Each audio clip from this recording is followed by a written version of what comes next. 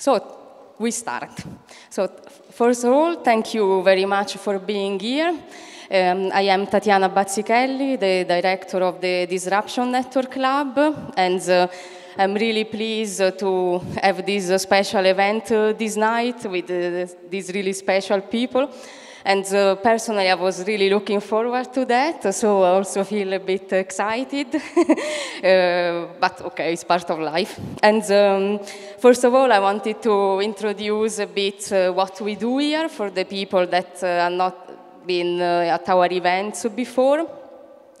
As I say, we are part of the Disruption Network Lab. That is a team of three women. So together with me, there are also other two wonderful women working.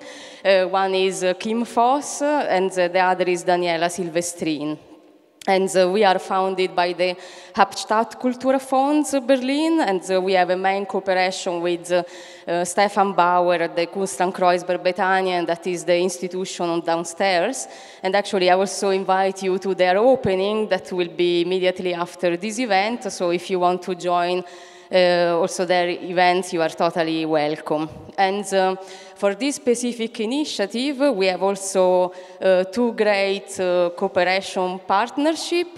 One is with the Nome Gallery, uh, directed by Luca Barbeni, and the other is uh, with the Spectrum, an independent space that is working on art, science, and hacking in Berlin-Kreuzberg. Uh, then I'm going also in detail to explain which kind of cooperation we have with them for this event.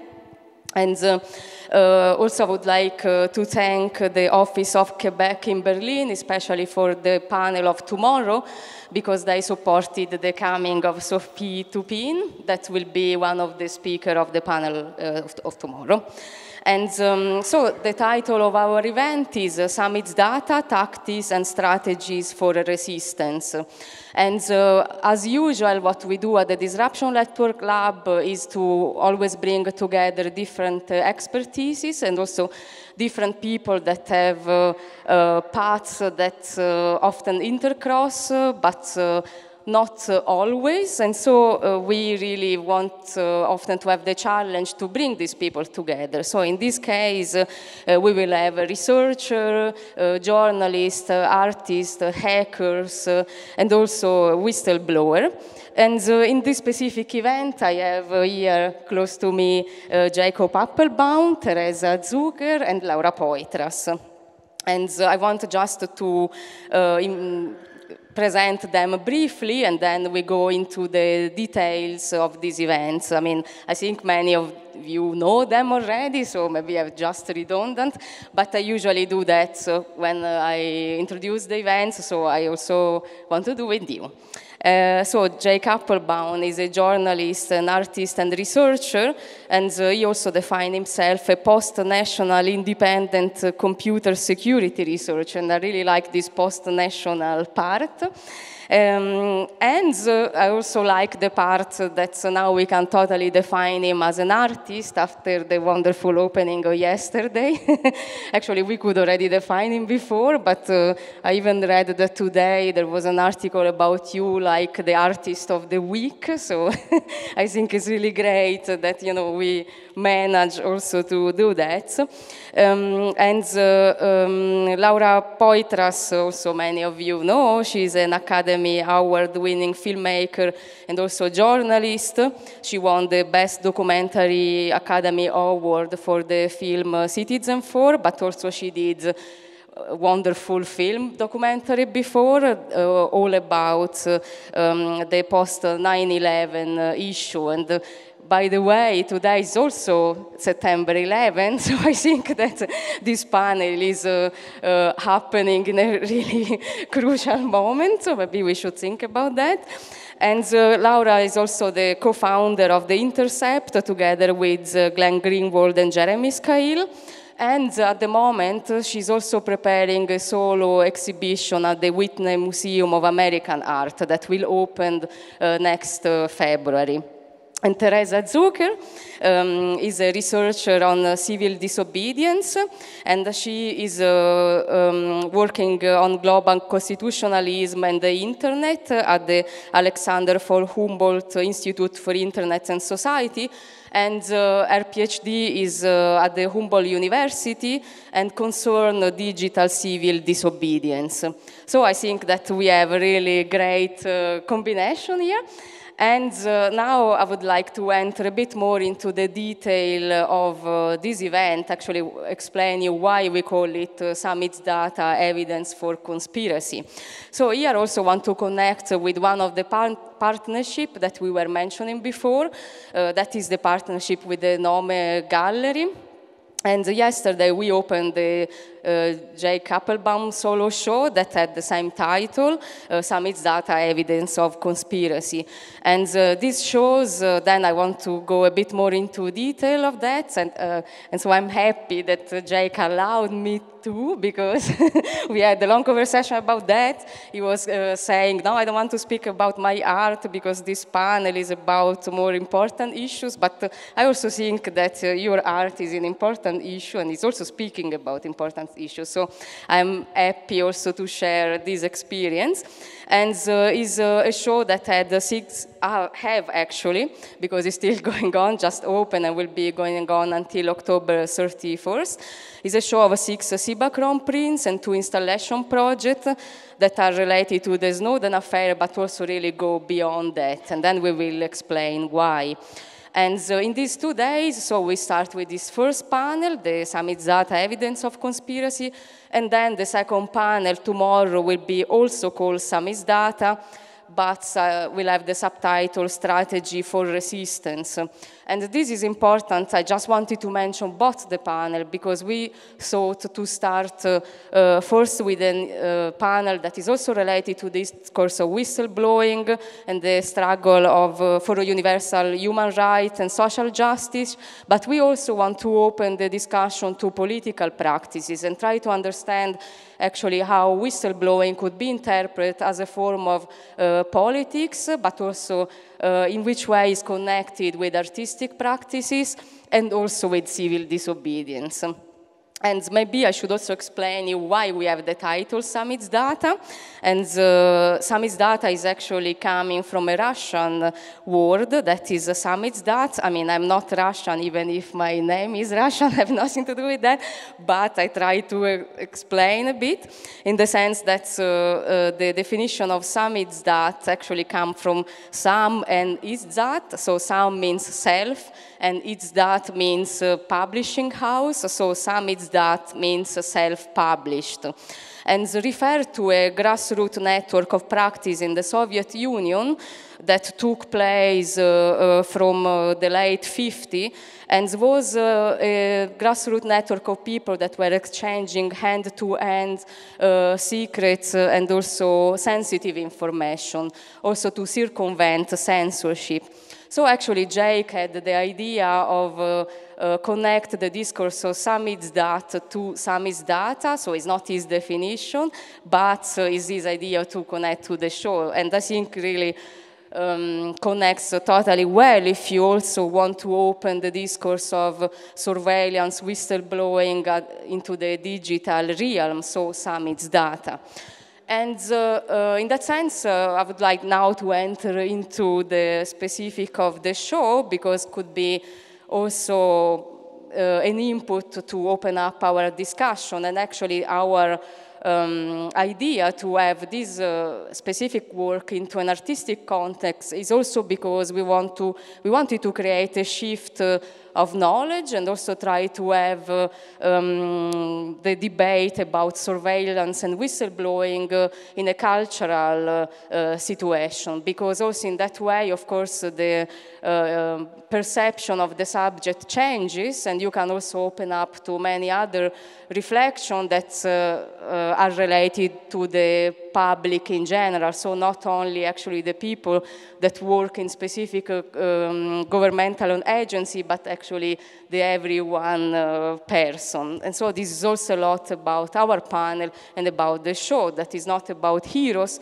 but is about uh, normal people. So now I want to ask Jake if uh, he can tell us more about this show. And also, I would be really interested if you would explain the public which kind of technique you are using that is the in color infrared photography that really connects with the discourse of surveillance and also uh, the special aesthetic connected to the Cibachrome print. And then I think from that we can open up to the content of the show itself. Um, sure. Um, thank you very much for that incredibly great introduction. And uh, thank you everyone for coming. Um, I'm a little bit uncomfortable to talk about the art that we showed yesterday just because I just I usually spend my time talking about anonymity and about technology. Uh, it's just strange to talk about art that I made originally in a sort of more private uh, setting. I mean, making portraiture like this portraiture with color infrared film is something that I've been doing for the better part of a decade. Um, mostly I, I, I, use the color infrared uh, film stock, which is not produced anymore, and the film that, that I actually shot these photos with is cut down from a 70 millimeter uh, Kodak infrared film stock by a person in Munich uh, by the name uh, Dean, I think is his name. He was supposed to come last night, but I don't think that he did. Um, but he, I think, was even sued by Kodak for remaking this film into a different uh, size um, because they wanted him to say that it was a used film now that he had tampered with it and so on. Um, but it was originally used for agricultural surveillance and a few other different mediums. And um, this, this uh, film is essentially no longer produced. It's uh, basically completely difficult to get. He's actually the last person in the world that actually still sells this film. Um, and uh, for the most part, the, the film, it, it takes the, the ultraviolet and the near infrared and the far infrared spectrum and it actually compresses this information down into the visible light spectrum and then it falsely colorizes that information. Um, and this means that you can see extra details you might not otherwise see. If you, if you uh, photograph a forest, for example, and there's some... You have two photos on the back. So. Neither of those show what I'm going to explain, but um, if you were to photograph a forest and you were to have a military convoy, let's say in the Vietnam War, um, right, or the American War in Vietnam, if you will. Um, if you were to look then at this forest, you would see potentially a military convoy even though it looks like plants because of camouflage, it actually would show on the film as being different because the plants have a particular chemical composition and the film reacts to that differently. And so things would sort of pop out. You literally would be able to see things that you would not otherwise be able to see. And uh, I'm really a big fan of hallucinogenics, so I like to make photographs that remind me of, um, of that. And so I like psychedelic colors. I think they're really fantastic. And this film helps you to see things differently, and it helps you literally, in some cases, to see vein structures underneath skin in a really clear way that you might not otherwise. Um, and so it, it, it's not surreal, because actually it's reality that we see there. Um, but I very much like this idea of having in my photographs that I give to other people something that is a long process. So it takes a while to get the film, then the film has to be remade, then it has to be shot, uh, then it has to be processed, and then I'm really slow at scanning. In fact, I usually don't scan, and then it takes even longer to print. And the printing process for the show that we did last night is very special. There's only a few people that still print with Cibachrome, and um, um, the really wonderful Barrett Gilma, who assisted us for the show, actually found one of the last Cibachrome printers alive, and he's in Los Angeles. His name is Frank. He's a really fantastically friendly person.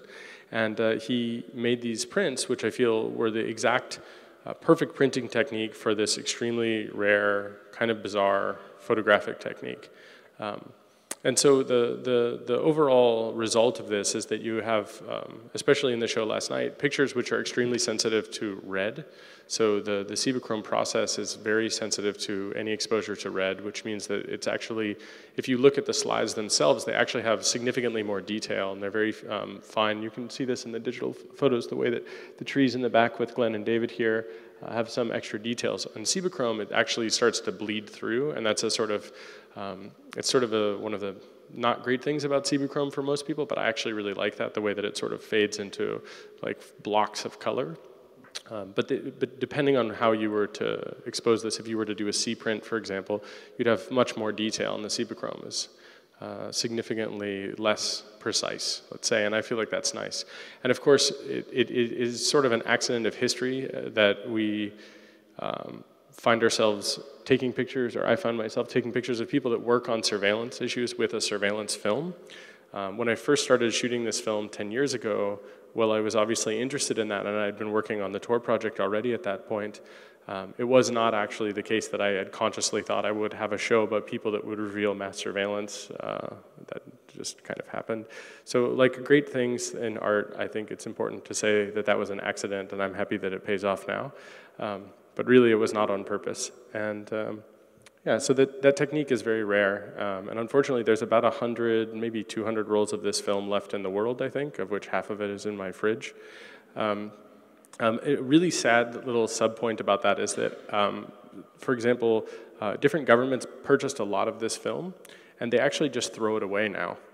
Um, so they have like, you know, millions of euros worth of this film and they have switched to digital technologies and so often they just throw it away. And Dean tries to find these uh, stocks of this film and then remake the film into something that can be shot by uh, medium format or large format cameras. And uh, he's, I guess, sort of found that it's not possible to find more of it anymore, which is really sad. So it's really a dying medium, which I think is fitting for taking portraits that I think may at some point be historical records like taking a picture of Laura during the summer of Snowden is, uh, I mean, it's a great honor to have been able to shoot that photograph.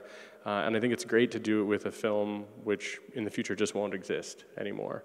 Um, because the film and Laura are one and the same in this way. Like someday we will all be dust. And so I'm glad that it could be used, like the last of that film could be used to take a photograph of Laura, for example.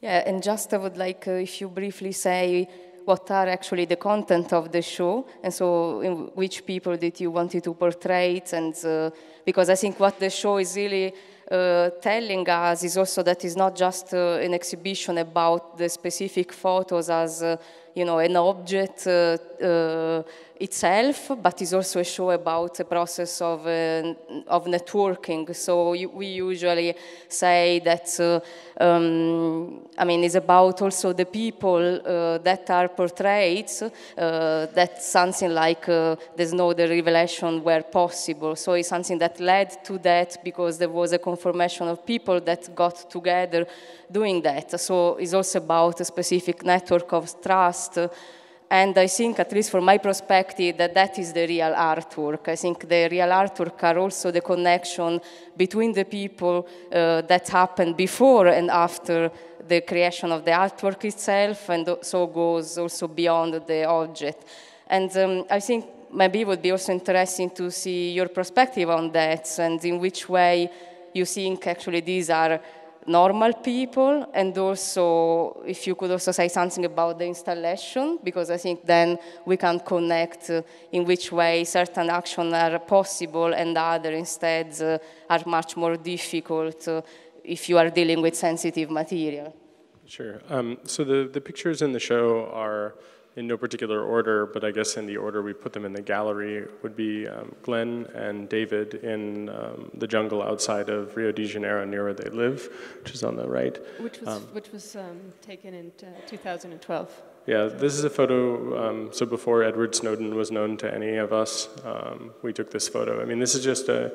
I traveled a lot for the Tor project, and I was in Brazil, and I wanted to meet um, with Glenn about some things he was writing about. He was writing about WikiLeaks quite a lot um, during that time, and I, I, very consciously, with my photography, tried to think about what I would like to promote. And so often, when I take a portrait of someone, it's because I really appreciate them for something they've done. Maybe it's just existing, but there's something something there. And um, so, for example, I explained um, at the art opening or at the press preview, you know, I try not to take photos of people smoking, for example, because I don't want to encourage the youth to smoke cigarettes, and I think it's terrible, or you know, like some kind of social responsibility. So this photo really represents something that I did want to promote, which is homosexuality. And in particular, like a really loving couple. And I just thought it was beautiful. I just really appreciated them. And at the time, I would have no idea that David Miranda would be held as a terrorist in, in, in the United Kingdom just a few years later while working with Glenn in journalistic enterprises. Um, so for me, it was a very uh, special photo, which I actually gave to them almost immediately. And very rarely, anyone who's ever been photographed by me, they know that this is an irritating fact, which is if I take your photo, I, you'll probably never see the photo. But if you do, it'll be like a, really a long time later. Because um, I like to make sure that you build up so much expectation that then you really appreciate it when you've given up all hope that it will ever arrive. And then the photo arrives. Um, and that's not entirely conscious, it's also because I'm just really slow, but it's also sort of conscious. Um, the next photo, which is not uh, on the screen, is the picture of Laura uh, Poitras. Yeah, it's okay, great. It's uh, up there in the upper right-hand corner. And this is a photo which, uh, essentially, I mean, we, um, while working on various things um, over the last couple of years, this is a scene which I feel you could have seen many times with Laura, which is that she would be um, working really hard and then she would take a moment to like stretch or to lay down on her sofa. And it's just like a picture I had in my head for a really long time because I saw it over and over and over and over again. And then one day when she least expected it, I had my camera out and I said, hey. And she looked over and I took that photo. It was a, it was a nice moment, and I was very happy to have surveilled her in her own apartment after working so hard there to, to not surveil her in her own apartment. Um, and then from that photo over is a photo of Julian, which I very consciously chose. I have, a, I have a number of photographs of Julian from over the years, from really early WikiLeaks days until, uh, until the last couple of years, where I haven't been able to travel to the United Kingdom. So I have some photos of him in the Ecuadorian embassy, but obviously he's been there for three years now. So um, this is a photo of him when he was still on he was still on house arrest, and he was able to leave obviously every day from the what we we lovingly called the bail Mansion, uh, Ellingham Hall, um, which is owned by some landed gentry in the United Kingdom. Everything that's wrong with the United Kingdom is featured in that sentence almost. Um, and he is wearing an ankle bracelet. You can't see it in this photo. Um, and he's actually talking to Laura. Nobody, I think, ever knew that, but um, we were shooting these photos, and um, just in this moment, I wanted to have a photograph of him where he wasn't looking at me and he was talking with Laura. And I think I shot this photo while they were in the middle of a conversation. I don't think he was very happy about it actually, because he's very like, he likes to be in control of things in a very particular way. And I say that in a loving, overbearing Australian men are overbearing Australian men kind of way. Um, so I really like it though. And I like it in particular because he's young and he is fit and he looks like resolute and strong. And also it shows that he's kind of arrogant and a little bit of a politician and also that his like, you know, his will is not broken. And I wanted to show that as opposed to something uh, with him sitting in the embassy where he has been, you know, denied sunlight directly for three years. And I wanted to show him also, I really like this photo. There's a couple other ones that are similar to this, but this one has this really beautiful tree in the background um, where you get, because it's almost sunset when the photo is taken, you get um, this incredible set of colors that's extremely difficult to bring out with color infrared. Um, so I was very happy about that as well. Uh, and then in the show, um, the next photo is the one of Sarah. And this, this photo is um, the only photo we shot for the show specifically. Um, and I, I, wanted to show her not as Anton Corbijn had shot her, who is my favorite photographer, basically, after maybe Laura and Trevor. Um, but Anton Corbijn shot her in a leather jacket, looking kind of like Che Guevara, sort of, you know, but like the British woman who'd saved Snowden, and she's just like really like hard, you know, she's just super, super hard. And I know her as a person who has a sort of variety of faces, and she does an amazing number of different things. And so I wanted to show her more relaxed in her environment in Berlin. And so we went to a park and we shot this photo of her sitting this way, and I thought it was nice. And there's an accidental Jesus in the photo, which you might be able to spot. Um, it's a little strange, but on the upper right hand corner, there's just like a thing that sort of multiple people pointed out to me looks like a crucifix, which I thought was kind of hilarious and certainly unintentional. Um, so it's kind of like you know, unintentional religious symbology for, for uh, you know, a, an angel of our time. Uh, I don't believe in God or any of that garbage at all, but nonetheless, art speaks to you in strange ways. So the next photo would be Bill Binney, which is, if we could go back, it's this one. It's actually the photo in the show that makes me the most emotional because, I, so I'm not a nationalist. I'm, I, you know, I think nationalism is a sickness that has unfortunately struck my country, the United States of America, in a really weird way, but I can't stop saying stuff like my country. So it's clearly still infected me, and it really bothers me a lot. And it bothers me because of what I've seen happen to people like Bill Binney or to Laura or to other people that I know. But in this photo, Bill doesn't have legs. You wouldn't know that because he's standing, um, but that tells you something about his sort of will, his resolution to continue to stand. But in the last several years, the US government has harassed Bill Binney so heavily for actually being correct and doing the right thing. And I mean, he's a really by the book kind of guy. Um, but the, you know, the stress of that, along with diabetes, caused his legs to be amputated. This is a person who I feel has really suffered, and at every point he could have chosen to stop suffering. He could have chosen to capitulate, and he always refused. And so he's making a fist in this photograph. One of his shoes is untied.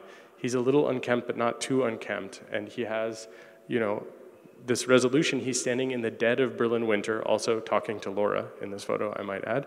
And, um, and he's making a fist, and in the background, you see his wheelchair. And I feel that it's a, a beautiful photograph of him. And it's how I will always remember Bill, which is that he stands tall no matter what is happening. He's a resolute, just completely awesome guy. And he's kind of like your crazy uncle that sends email forwards with, like, you know, really ridiculous things with HTML emails and stuff. So he's also a really funny guy.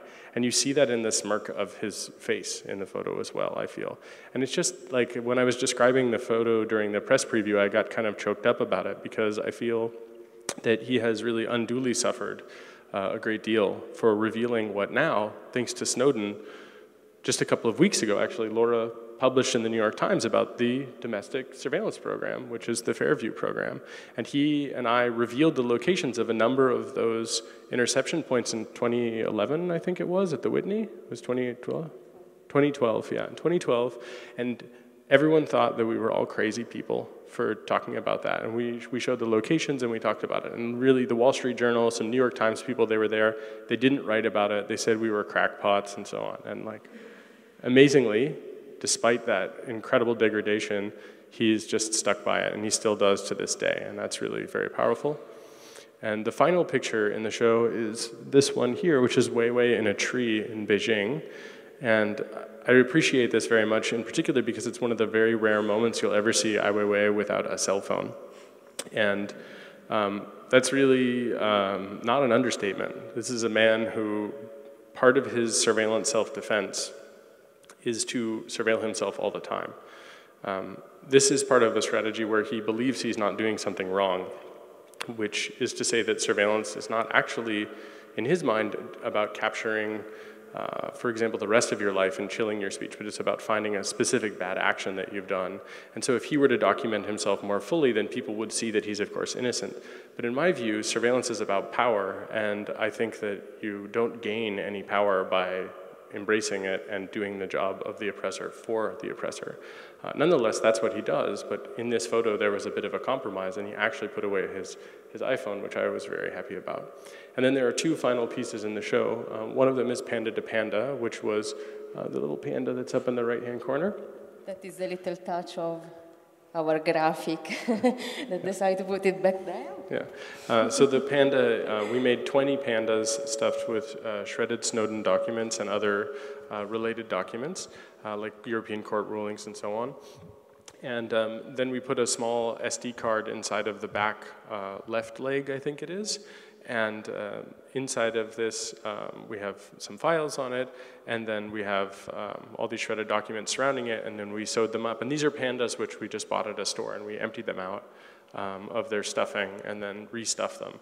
And then we sent them around the world in a sort of clandestine peer-to-peer -peer way, um, where everybody took a panda or two and smuggled them to different places. So like Laura has one in New York City. I think Glenn received one and it's in Rio. I'm not entirely sure. I wasn't part of that section of the compartments.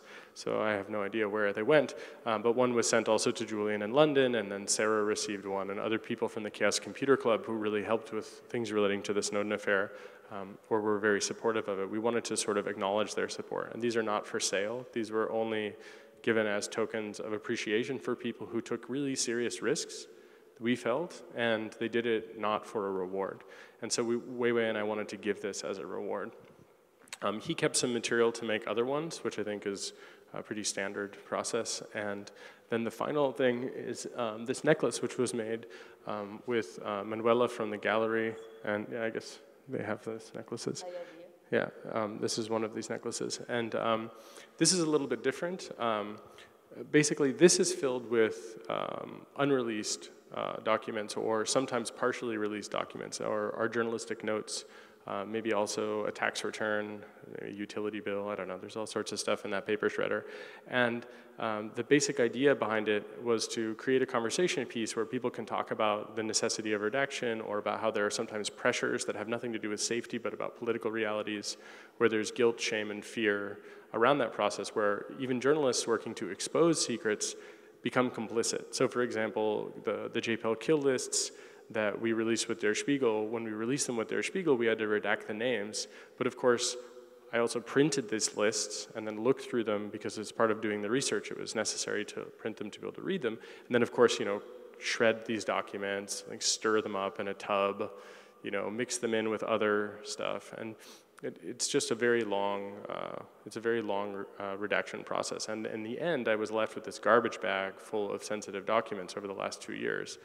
And so we thought, you know, rather than throw out this thing which is waste, which would also be a waste, we could turn it into a piece. And so we turned it into a piece where we made hundred of them.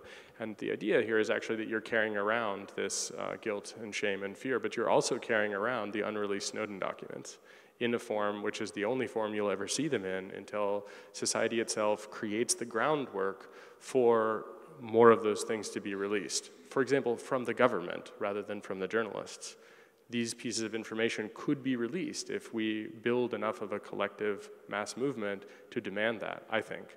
Um, so part of that was to try to create a piece where we could do that, and again, to make it a little bit differently than the Panda, where the Panda is publicly available documents, even though they're still classified. This is about information which is not released in full, um, that is still classified and is still secret, where I myself was complicit in that culture of secrecy. And so it's also a self-critique about my own failure as a journalist to release more information. And those are the pieces from the show, and I hope now that I can stop talking about my own art. Yes. Thank you. Thank you, Jake. Now, I think it was important to have this uh, ground because uh, these pieces really open up a lot of issues. And um, so I also wanted to go back to the discourse of um, evidence of conspiracy that is the, the, subtitle of this panel and also the title of the show, the subtitle of the show. And uh, in that sense, also wanted to tell you a bit the genesis of this uh, specific panel and show that actually started, uh, at least among uh, me, Jake, and Laura, like two years ago, when we were uh, preparing a panel at Transmediale Festival that was called Art as Evidence. And uh, that specific uh, night, also Jake had uh, some of his prints, uh, and uh, was actually the night of my birthday, and he gave me as a gift uh, the, the, photos of Laura, and Laura was also there with us, and for me it was also really a special moment. And in that specific night, we were also discussing on how to basically titled that panel that then we did also with Trevor Paglen, was February 2014.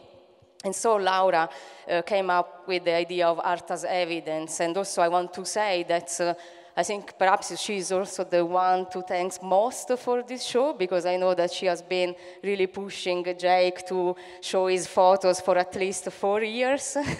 so I think that she is also really responsible of that happening. And uh, uh, that is also why we are here discussing together again. And uh, I think that this definition, definition of art as evidence um, is really crucial because uh, connects uh, uh, the artistic practice with the one of whistleblowing. And I think it's also really interesting because uh, uh, by doing that, then you can start to reflect on art as uh, a territory for opening up a, a critical perspective also to generate evidence as an artistic strategy. And at the moment, uh, Laura is preparing actually a show at the Whitney uh, Museum, and uh, I also would like to ask her what, uh, in which way you would define art as evidence and how connect with the work you are doing right now. Yeah, um, first of all, I want to thank you, Tatiana, for organizing this. Um, I, I, think that that title came out when we were talking about, about that panel, and it was my work, it was Trevor Paglen and, and Jake, and each of us um, in, our, in our practice do work that is engaging or in dialogue with the world, with the political reality that we live in. And um, for me as an artist, I mean, the reason I make art is to say something, is to express something about the world. And so it's an active expression. And, uh, and I think that that's also true for all of our work, but it's not just any active expression, but what do you want to say about that? And I think that art opens up a space to talk about things in different types of ways, in emotional ways, in ways that are um, inform us and also move us. And, um, and so I would argue very much that actually Jake's work is not accidental at all. I mean, Jake, I mean, his, his photographs that document a culture over the past decade are a document of people. It's not a coincidence that William Binney was um, interrogated, that Julian Assange has um, been in the embassy for three years, that Sarah Harrison can't go home, that I've been detained at the border 50 times, that Jake can't go home and that Ai Weiwei didn't have his, I mean, didn't have a passport. I mean, that would be a pretty extraordinary coincidence, right? That, you know, if you were to look around the room, how many people would you put in that, that category? So I think that the work that Jake has been doing has been about representing for himself a culture in which he's very much a part of. And that's, to me, very, um, it's very powerful because it's very clear that he's not taking these photographs from an outside perspective, but from somebody who is of this community. And, um, and then the work that I've been trying to do is basically trying to find ways to communicate about what I think is a really horrible chapter in the United States history, which we're now on a day of an anniversary of. And so what are the ways that we could get at these kinds of issues that we all know? I mean, you know, we can just do a sort of a reminder um, that Guantanamo opened in 2002 and that there are people there who have never been charged with anything. And you know, the, where's the international pressure to close Guantanamo, you know, and, and so obviously that's, the information itself isn't enough, right? So it, it's, it's not enough to sort of, um, I think, change the reality, but it's also not enough to actually say what, um, what that means. I mean, I don't think it's even, it's, I think it's actually incomprehensible to imagine being in a prison and never being charged with anything. I mean, and never know why you've been put there. So, so for me, I, I feel like that art is about creating this a way to, to express something about the real world. I don't think it's something that's separate from political realities that we live in. I think it's very much um, that as artists, we're not separate from those political realities. We're just responding to them and we're um, uh, communicating about them. And I'd also take issue with Jake's um, argument that his work is to provoke, because it doesn't really make sense. It doesn't add up, because he didn't show the work for like a decade. So, so you're not promoting anything. Like, you're not promoting anything because nobody saw it for so long. So I think that there's probably another reason why you do what you do, and I, I don't think it's about promotion. Um, uh, what else? Your work at the moment? I mean, so I mean, I, I can't seem to get away from these themes. So, um, so I did. I finished a, a, a, work that I called a trilogy about post 9/11, and now I'm doing something else, and I can't sort of just like walk away and make something about you know. Uh, um, something that doesn't sort of occupy me or that's ongoing. And uh, the war, the US war uh, on terror, war of terror, whatever you want to call it, is very much an ongoing thing. In fact, it's actually more frightening today than it was, I think, a decade ago. Because a decade ago, you could say that we're in a moment of emergency and that things will roll back. And now we're at a sort of state of metastasized and institutionalized um, extrajudicial, um, actions, the drone war, I think, is one of the most frightening things that we've entered into, into this sort of new chapter. And I think uh, when 9-11 happened, I think it, it, would have been unimaginable that we would sort of be sitting here at a time where the governments are flying planes and assassinating people. I mean, that's how did, how did we sort of come to terms with that as a, an acceptable political reality? So, so, um, so the work that I'm doing is going to, you know, continue to, to um, deal with these things, but it's in a museum context. So instead of, um, my, my films tend to be narratives, so they tend to have um, protagonists and protagonists who go through some sort of uh, uh, conflict, struggle, drama, and, and through that you sort of learn something about the reality. And um, and in, in art context, this is going to be installation based, so it will still be a narrative, but I think the, the, the, it'll be the audience themselves that will be more the protagonist. And so there will be a beginning, middle, and end. Hopefully, you will enter it with one state, state of mind and you'll exit it with another. Um, but it, it's not so much through um, a narrative of somebody outside. So, for instance, Edward Snowden is, as an audience member, you watch it and you sort of come to terms like, how did he make the decisions that he did and what are the consequences? And so you, there's this kind of empathy um, relating to that other person. And so this will be a little bit of a shift in terms of I'm not asking, I'm not going to be asking the audience to empathize with necessarily another person, but more to sort of be in a more experiential, um, I guess, state of mind. Um, I think I lost my microphone, so it's a good time to stop. okay, so then uh, um, I would like also to ask uh, something to Theresa, and I think there is a direct link here because we, you were also speaking about how actually to make the audience participate directly into the context of these issues.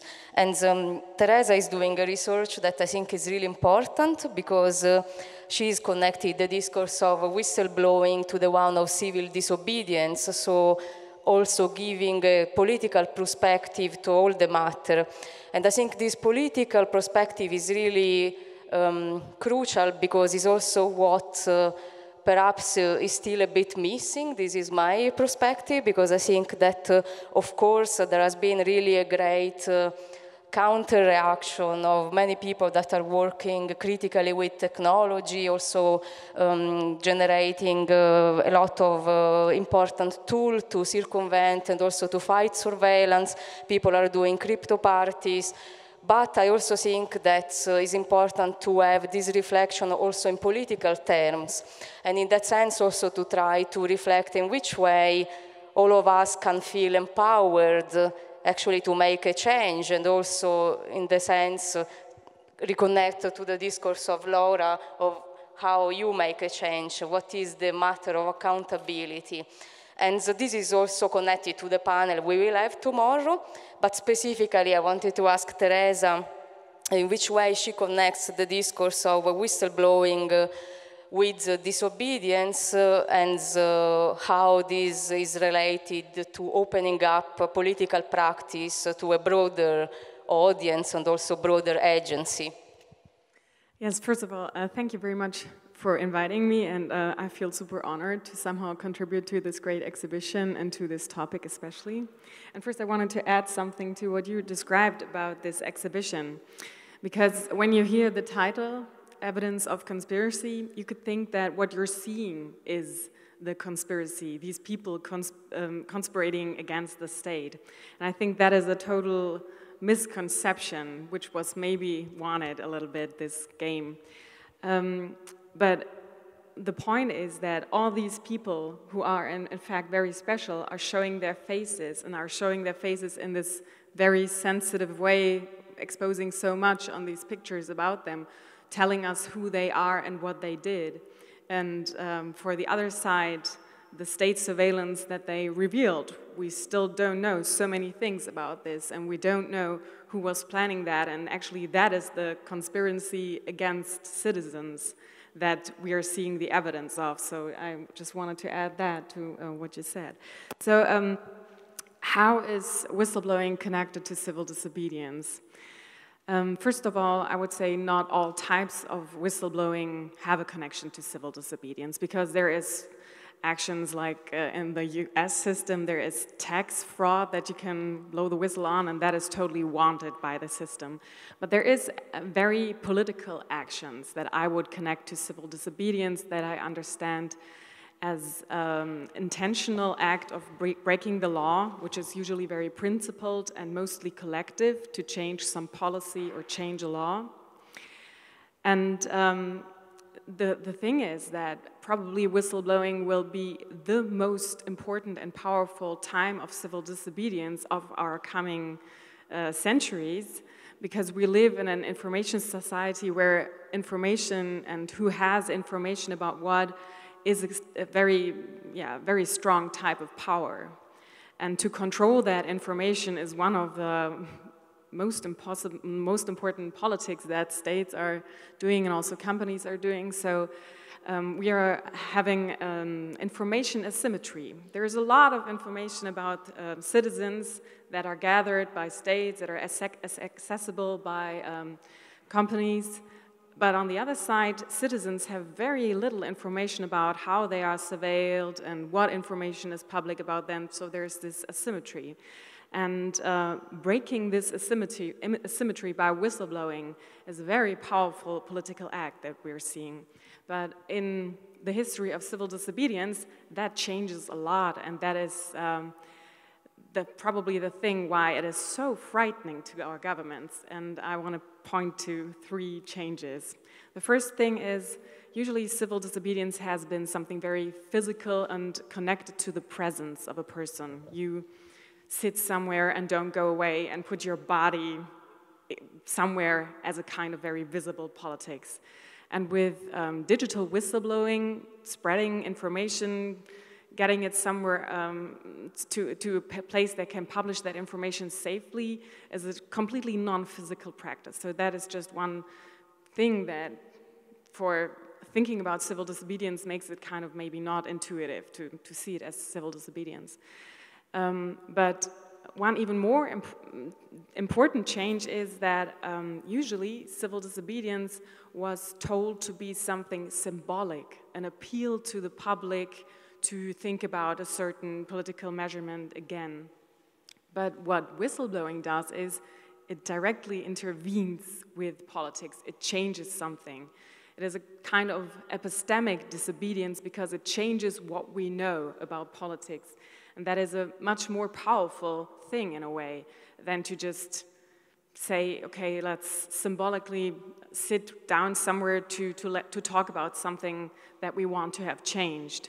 And the third thing is another asymmetry that is taking place, and that is that um, for the yeah, more traditional types of civil disobedience, the penalties haven't been that extreme as we're witnessing today for exposing information of that kind that is certainly valuable to the public, or in a lot of cases at least very valu valuable to the public, um, the penalties are extreme. And so these whistleblowers that we're seeing and all the people who made that possible are taking an enormous risk. Um, that is kind of a new level of what civil disobedience is. So I think it's a very important and probably most influential type of civil disobedience for the next centuries to come. Do you want also to comment on this? I agree.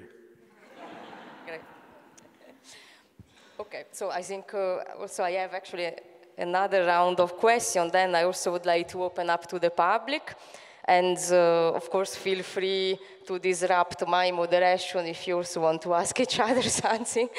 And um, I think what you were saying is also connected to the discourse of the importance of making a choice. Um, you know, because by saying that the people are really making a courageous act, that also changes the uh, rules, if you want, of uh, resistance, disobedience, and also political conflict. Um, I think actually is an aspect that is really crucial. And I wanted to go back to a panel that you had um, uh, at the uh, Congress uh, in 2012, actually was your keynote, that was called uh, Not in My Department. And I think was really interesting that you were already speaking about this subject in December 2012.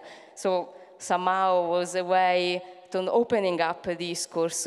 And I think in this keynote, uh, uh, by saying not in my department, then you were also totally reflecting on the discourse, how is possible to make a choice of accountability, and also how this choice uh, uh, can be actually open to normal people, to the everyday life. And uh, so I have a question to Laura again, because uh, um, speaking about choices, uh, there is this famous sentence of Snowden that says that uh, he didn't choose you, you choose yourself.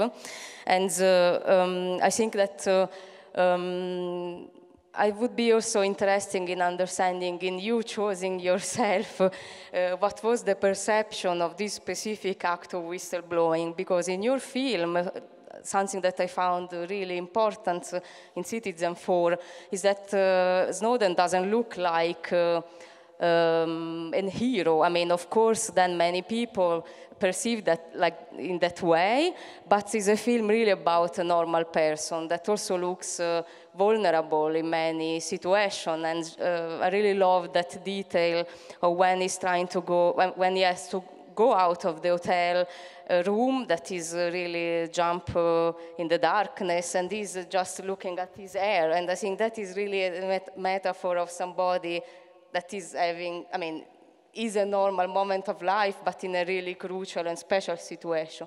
So I also wanted to ask you that. I mean, was also your intention to not to create the, the hero in your film, but really show the normality of whistleblowing the normality in the really special context. Okay. So, um, so first, in, in, in, response to this, the impact of whistleblowers, I actually agree with everything you said in terms of the enormity of the change that is created and the fear that the state has.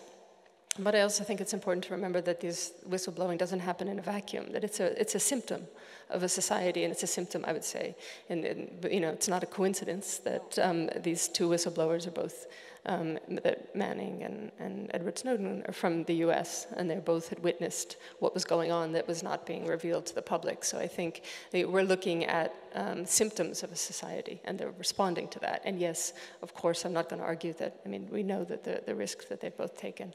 Um, in terms of um, in terms of Snowden, particularly, there's actually a more interesting quote that's not in the film that he sent to me, which was he right before I um, traveled to to meet him in Hong Kong. Um, uh, it was about a week before. He had already, um, I learned later, he had already left. And he said, um, he said that the odds are against us, but odds never matter when you win.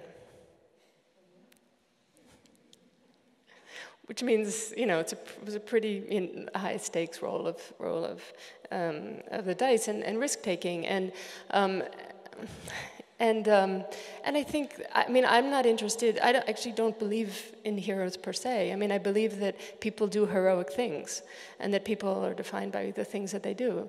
And absolutely, um, Edward Snowden did heroic things, and you know, so have a lot of other people, and a lot of them that, that Jake has documented. Um, and but I but I think that it's not about. I mean, it's not our. We're not we're not sitting here in this panel because you know any of us are any more special than anyone else. We have witnessed a bit of history, and so we're talking about that.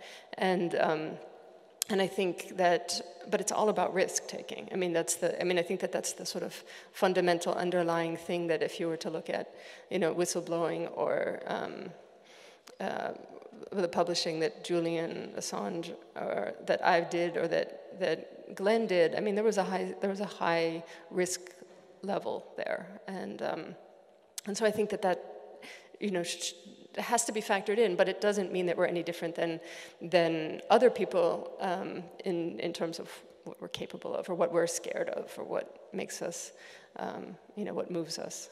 It's, it's the same as everyone in this room. Yeah, um, I was just thinking that for me, I ask myself the question like, what makes these people on the pictures different? What choice did they make that maybe other people don't make? And one important point would be that they all overcame the fear of isolation. And I think that is what a lot of whistleblowers are whist uh, that is very loud. that is what a lot of whistleblowers are experiencing and fearing that they are singled out because they stand up for defending their opinion and fighting against something wrong. And I think before Snowden, especially in Germany, most people wouldn't know what whistleblowing is. So it's, it's really a new practice, and it's still something that is combined I, I, to. Wouldn't, I wouldn't really call it a practice. I mean, I don't think people blow the whistle and risk going to prison for the rest of their life to find a community. Like, I would argue that to, to find like a network or it's like. No, no, like I think is, it's the opposite. Like, yeah, they, they are singled out because yeah, of that. And I think um, we as a society um, have to work on not making it such a heroic act to, to blow the whistle on something, but making it more normal and connecting to people that say, okay, there is something wrong, we should get together and do something about it, so that it is not these heroic figures that stick out and do something about it, but it becomes a more yeah, more embedded practice in society to stick to, okay, we made a mistake here or there's something going wrong here, and to be able to talk about that. Because I think right now it is still a very high um, risk of being singled out and have, yeah, experiencing isolation in what you do. Jake, you want to add something? Strange. okay. So I ask you a question, and will be my last question to you, uh, because I also want to hear what the public uh, think about all of this. And I know that you were also having interesting conversation before this panel, you and Theresa. And uh, Theresa also was telling me um, that you were speaking about the discourse of the banality of evil being an expert of Hannah Arendt. And so, like the banality of even evil, maybe you can explain better than me, uh, related to the discourse of doing the job, of serving the duty, and also basically obeying uh, the orders. Then you were then coming up with the definition of the banality of goods that is also related to Uh, to the discourse of doing the right thing, and also perhaps that this right thing is also something that is not uh, heroic, but also something that, uh, you know, people, uh, you should tell better. Go. it's your definition of mine. Yeah, okay. So, um, yeah, I mean, it, we were drinking.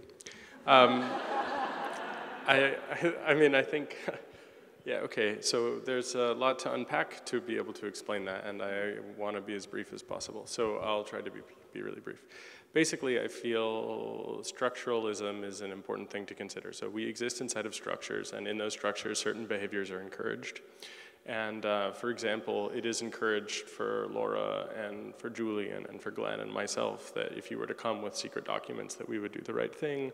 And uh, in some way we have this like it's concretized that's that's our role in the world now and actually we don't really have a choice about that and it would be really destructive to ourselves to our networks to our friends and to the values that we promote if we were to do anything other than that uh, so in that sense i don't even believe i have free will anymore uh, I mean, obviously, I do have free will, but I don't really. Like, my natural inclinations, my networks themselves, they actually form the choices I'm able to make. Uh, much the same way that fascist societies I think people still have responsibility inside of them, but the, the range of choices that they can make is really selected for them. Very rarely do people have a full range of everything that is possible. Very few people are at privilege, they're like at liberty to, to do that. And so I was sort of suggesting that what Snowden said was very insightful about you choosing yourself. Like you, you know, this, this is not, like, I, it's not my choice. I feel like there's some truth in that, right? I mean, Glenn found himself in a position where he was writing about drone strikes and about American assassinations and about civil liberties violations, and it's like, you know, there was almost no one other than Noam Chomsky in the United States who was an American citizen writing about those things. And so, like, who was Snowden going to go to? The New York Times? That's a joke. You know, the Washington Post? Yeah, great idea. I mean, these are people who, you know, beat the drum for the Iraq War. So they're not going to be able to make a choice that's a good choice. They're, they're tied in with, in the case of the New York Times, there's a great movie called Mediastan. And in Mediastan, they actually have an interview with who was the editor of the New York Times um, during the period that the movie was made, and he sort of talked about how they got on the phone with the CIA every single day when they were clearing stories. I mean, like, you know who I've never called when working as a journalist? The CIA. right? But so at the same time, they did that because that's the structure that they're a part of, and that, that that editor found himself in. And so this idea of the banality of good is just to sort of suggest that there are some structures in which the emergent phenomenon is this, what we're calling good behavior, and that there's some responsibility for it, but like, I don't believe in the, the, narrative of the hero. I think, for example, Julian, what he's put himself into, he's, he is a document leaker for the rest of his life. He would have to work very, very hard to change that. And the work where he's revealing some injustices, that, that's a product of the structures and the people that he's brought around him in his life. And the same is true when you're a documentary filmmaker or when you're a journalist working with people, and those are the sources you have, and where you, where you think about um, human rights as one of the primary drivers. And so in some ways, I feel like you, you end up being a, a, part of a train that has this kinetic energy and you really don't have a free range of motion and you really do lose some sort of free will. And I think it's a theory that's difficult to expand on more than that because as I said, we started it by having a dinner discussion while drinking. So I hope that answers your question. Yeah. You want to add something?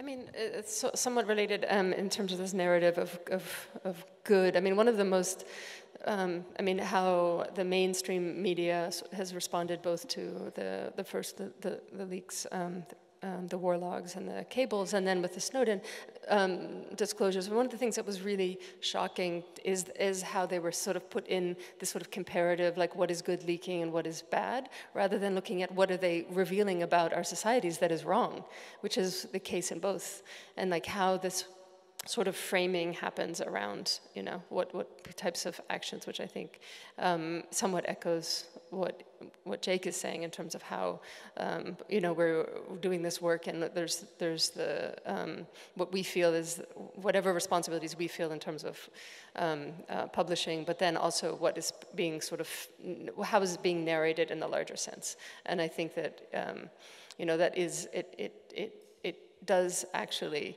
um, can uh, shift like how, what the public perception is. So, for instance, um, I mean, I think one of the most um, uh, what what was revealed by the war logs and uh, in terms of what was happening in the Iraq War was the most. I mean, it was the it was like lifting um, the you know the or pulling the curtain back of like really what the what, what was happening um, uh, in in that occupation, and yet we sort of then started the, the, the, dialogue shifts, and then and then what happened when we started publishing, and how then the people did this comparison between the two, which I find is really destructive.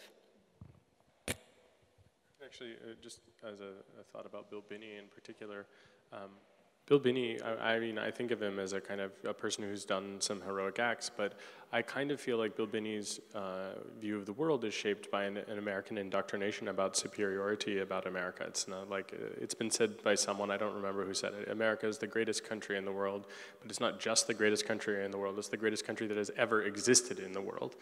Uh, and this is like this really perverted viewpoint about the Constitution and about nation states. And I sort of feel like with Binney, he really started to talk about what he saw and he thought it was wrong because he'd basically been indoctrinated under one system. And then we had a switch to a different system. And in the first system, American citizens were treated as special and the rest of you were not. And then in the second system, none of us were special. And in my mind, that follows, right? There are some people that are treated as subhuman. In the end, everyone is treated as subhuman. That's a pretty straightforward. But Binney wanted to blow the whistle about that. But in some strange way, there was a, a whole lifetime of work where he didn't blow the whistle on this because it wasn't happening to Americans.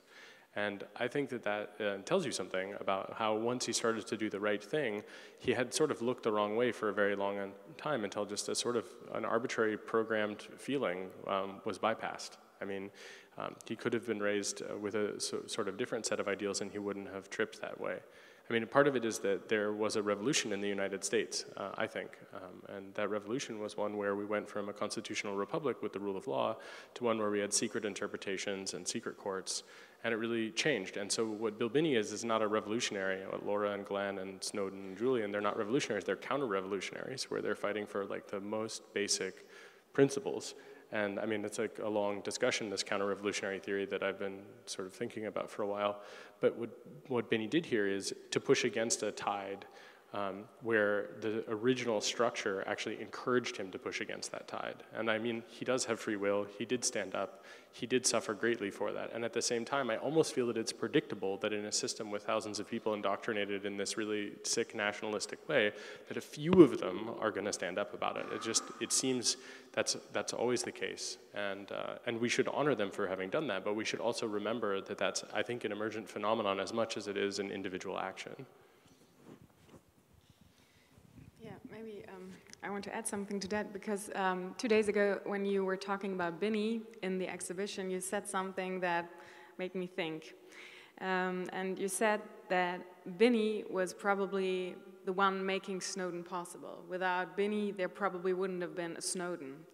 And I was thinking, yeah, and for Binney, probably there must have been some other person and some other principled person that gave him this, this example of how you can do this and how you can stand up against, um, against this uh, surveillance that, was, that is happening.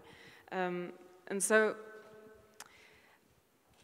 I thought that, you know, probably people think, you know, yeah, I'm not related to that practice, I, I'm not related to surveillance at all in my life, but I think it's more a cultural thing, that in so many um, fields of our society, it's so much easier to avoid conflict and to just stay under the radar even you know, when you know that things are going wrong. Like everyone, like I can ask myself, everybody can ask themselves, how many times have I not complained when I really realized that something is going utterly wrong?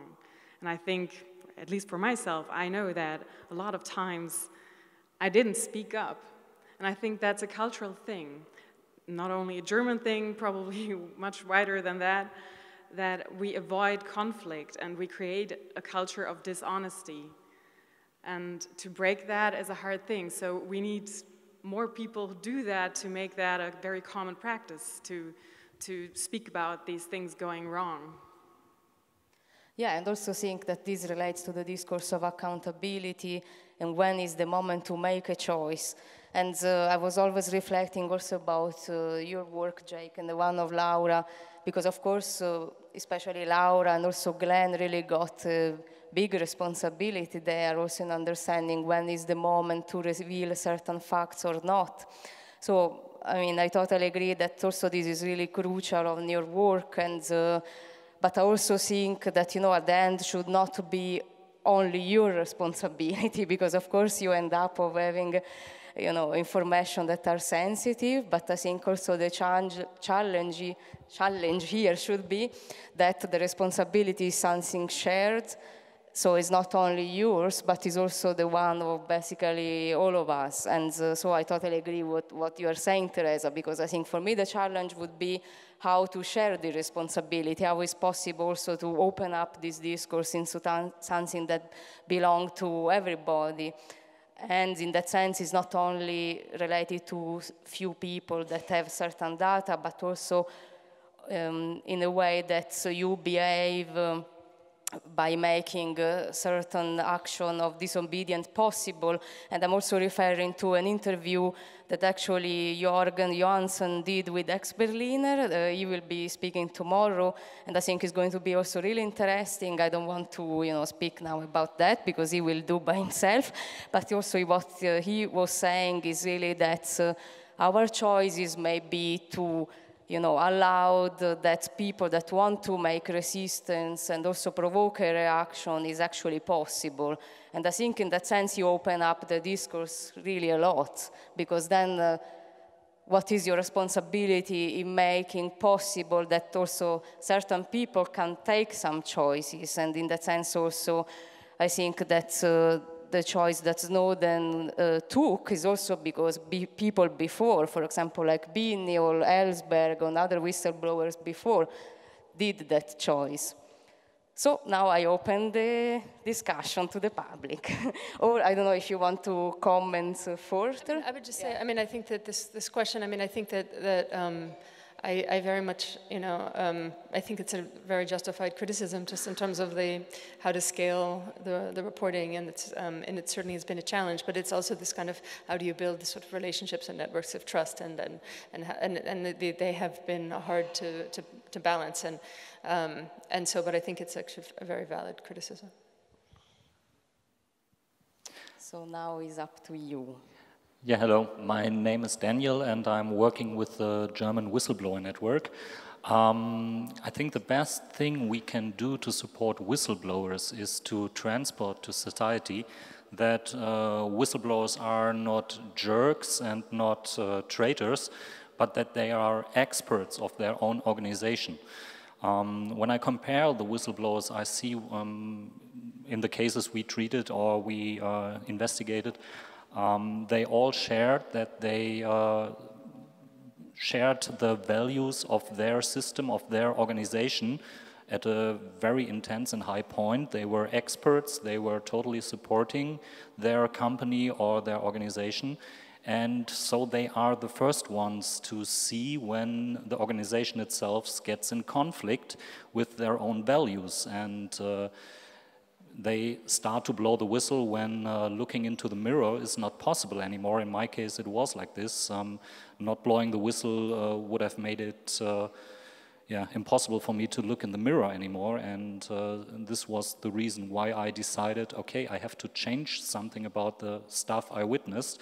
And uh, if we can transport to society that uh, these people who so highly offend uh, the company, the organization, and they, uh, which the whistleblowers then start to fight, are the real problem. Um, then I think we uh, can change something and can say, okay, whistleblowing has a value not only for society, but also for companies because uh, the, the people who try to hide stuff and to uh, keep it away from the public, they really uh, harm their own company. So um, this, this is my view on this. Um, I don't know whether you can agree to this, but uh, I think...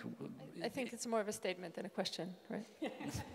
um, yeah, Which is fine. I mean, but I think let's, let's move on to a question. I, I didn't see the, the, the personal uh, aspect of whistleblowing so much in the discussion. That's that probably it, true. Um, I mean, none of us are, I, I don't consider myself a whistleblower. I mean, I would say that I agree. I mean, it, I would take it as a statement, not as a question, and I'm, it's nice to see you here, by the way.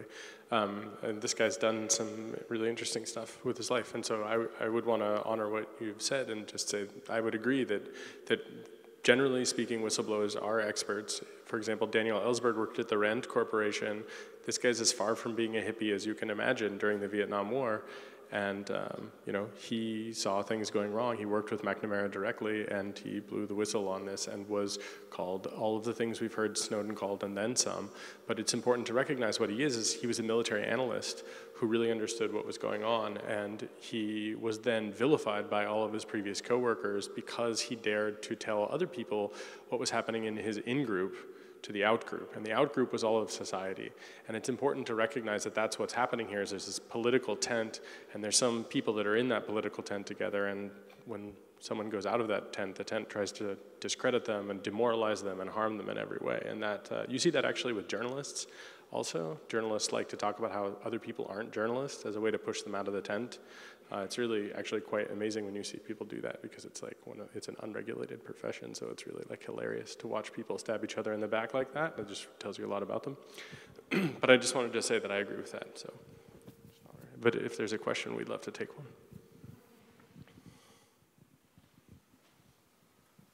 Yeah, um, it was interesting. We were talking about being counter-revolutionaries.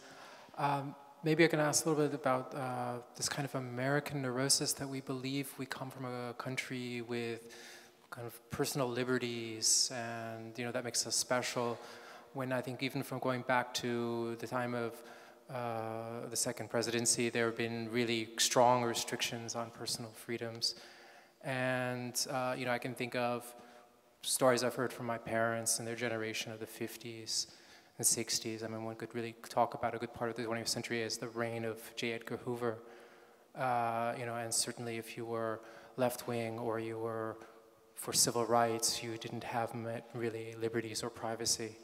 Uh, if anything, maybe the time from 1973 to 2001 is kind of the American equivalent of a, the Khrushchevian uh, thaw, like what was happening in the Soviet Union in the late 50s and early 60s. Um, maybe it also puts, yeah, I mean, it's, it's a really interesting to think about maybe this, we were kind of brought up with this idea, this kind of lie about our societies. Uh, uh, so I would kind of say it wasn't, you know, the 73 to 2001, which is also not a pure period, but was really an exception. Uh, also, maybe the Ai Weiwei thing, you were talking, kind of criticizing him uh, for wanting to survey himself. But I was thinking, he's in a society that, where there isn't that illusion of freedom or privacy. And the one interesting thing I think he did at one point when he was in house arrest is he uh, put all his surveillance online and that really pissed off the Chinese government. I mean, they, they threatened to, if he didn't knock it off, they would uh, cut off his internet access. Uh, so in a way, he actually managed to shame the powers that be. I mean, I agree. Um, uh, I mean, it's a country, you know, the U U.S. is founded on slavery and, you know, killing of a population. I mean, so yes, it goes way, way back. It's not like this is new. But I do think that there are things that are worth still pointing out. We can't, just by saying like, well, this is, we've been doing this for a long time means we should, well, then, then what? So I do think that we still have to engage or respond to the realities that we're in. And, and I do think as an American that when legal documents are being written to legalize torture, we, we really should be appalled. I mean, that is shocking to me. And, and even though, yes, we, this is a country based on slavery.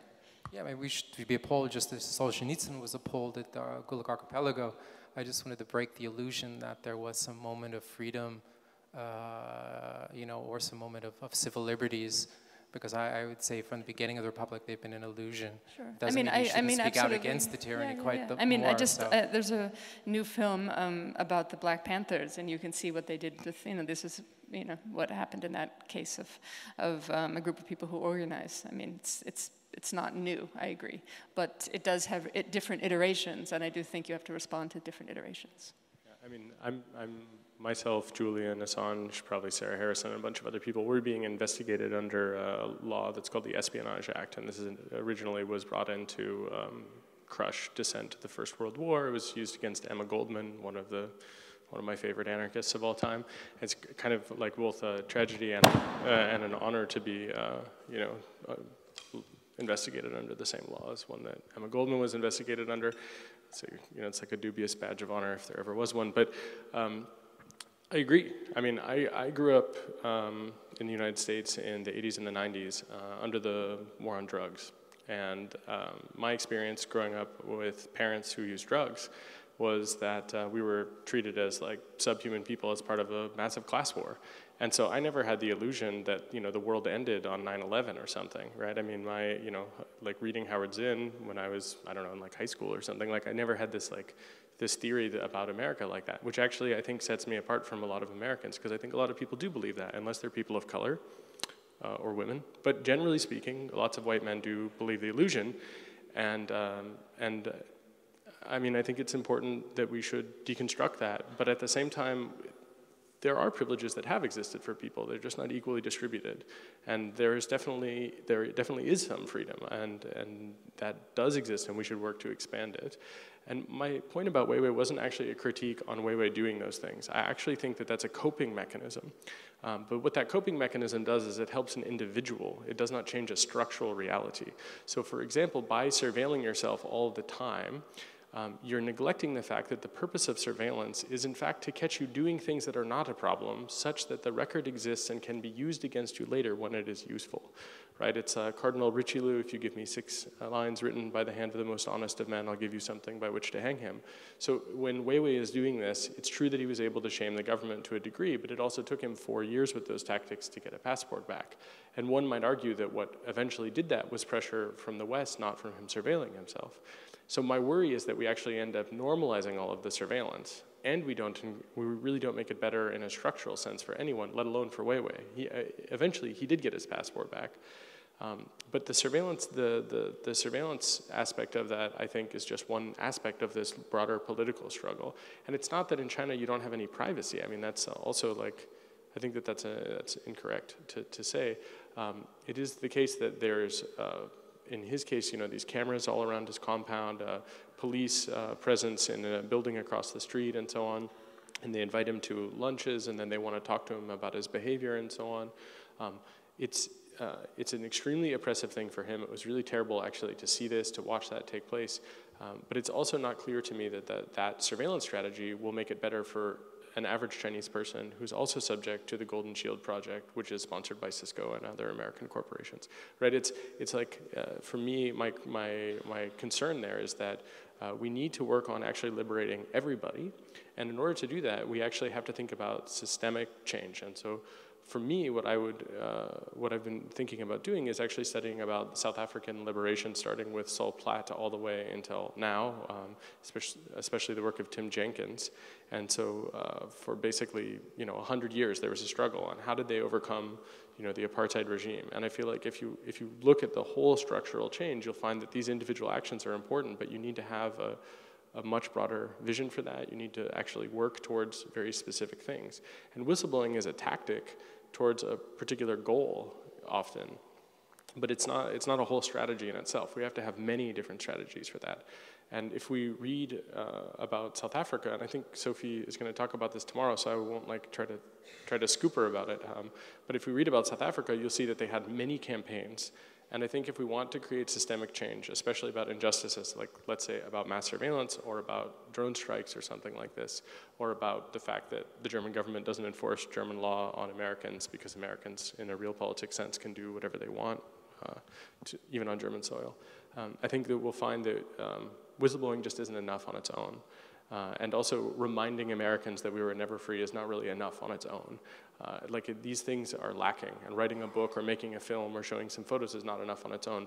But if we can find enough of the areas, uh, you know, the, the sort of like the terrain of struggle, if we can find the terrains of struggle and then find the asymmetric advantages, I think we'll be able to make some differences on those terrains of struggle. Um, but it is not entirely clear to me where all those terrains of struggle are in an information society. And whistleblowing is definitely very powerful and as a, as a, a tactic in this terrain of struggle for an information society. But I think we have to be much more systemic about our critiques and we have to really try to imagine how the structures work and then how we might disrupt the structures. And I think uh, that takes a whole bunch of, uh, a whole bunch of thought that it's much, it's much broader than just a single tactic. It was really long, I'm sorry about that. So somebody of you want to add something? No. Other, yes, over there. Um, this question kind of relates to the range of perspectives that we're usually getting when we're talking about this kind of resistance in journalism and now, now kind of on the spectrum of the arts. Um, and I, I really can't imagine the, amount of pressure that you all are under by, for doing this, this great work that you do. And I, the question kind of relates though, if, would it put you under even more too extreme pressure to try to find ways to collaborate with, uh, say, people from Islamic cultures so we could hear the voices from the, the, um, the real victims of the war on terror or, you know, someone like Nafeez Ahmed who has been fired from The Guardian for reporting on uh, sort of oil and, and sea rights of the, the Gazans. And so using um, these kinds of platforms to give voice to these people who have even less um, access to the media. Would that be a very difficult thing to do in Germany to try to collaborate with people who are suffering maybe even more um, repression to get their voice out there?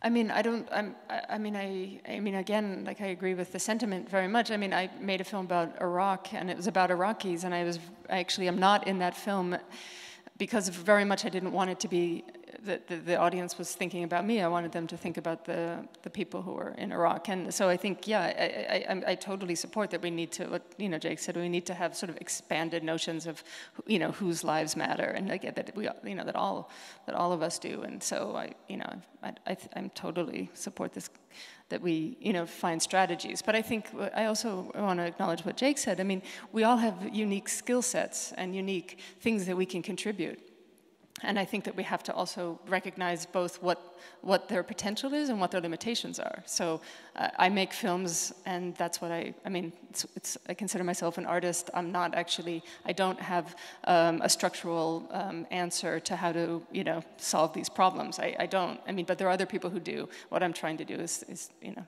um, the work that I do, which is, has its own kind of um, you know, can achieve some things, but there are some things it can achieve. And maybe it can achieve, like, you maybe will care about somebody who you wouldn't have understood their circumstances before. That's not going to change the society. That's maybe going to change your, um, you know, your, uh, how you understand the world a little bit. Well, maybe I also kind of meant it in a way to the people who are coordinating the disruption lab as well. To is it possible to to include this kind of diversity in this setting? So maybe also if Tatiana could respond to that as well. So I, I have a, a thought about that, which is, I mean, one of the really unfortunate, I love how many cameras are in the room before I say this. Um, let me think, I need to choose my words very carefully, Pod, I'm sorry. Um, I work with some politically active Muslims, and many people in this room also work with those politically active Muslims. But we exist in a world where merely associating yourself with some kinds of politically active Muslims uh, puts you in very serious danger of being charged with material support for terrorism and uh, other really nasty stuff. And if you are aware of what happened in the last seven days in the United Kingdom, you'll know that the British government is now just straight up killing people if they are perceived to be in any way associated with ISIS um, or a whole bunch of other groups. And one thing that's really terrifying is that it has a chilling effect, which is anybody who's a Muslim is only one degree away from that. And it's really absolutely unbelievably terrifying. But there is support then, and, and, and I think there actually is work that's being done to help to empower people who are part of an oppressed minority, actually. Um, I mean, this is a pretty white panel. I mean, I have a Jewish last name, but let's just say that we're all white on this panel for the sake of argument. Um, but part of the problem is that some of those people, they can't get here, and some of those people wouldn't want to be associated with us. I mean, we're like the surveillance Christmas tree, you know? Like, you don't want to be talking on this panel with us if you're actually in an area where there are active drone strikes. I mean, obviously, I think we should work to give people like that a voice, but I think the other thing we have to do is remember that sometimes when people have a voice in those areas, they don't have the privilege of staying alive once they've used it.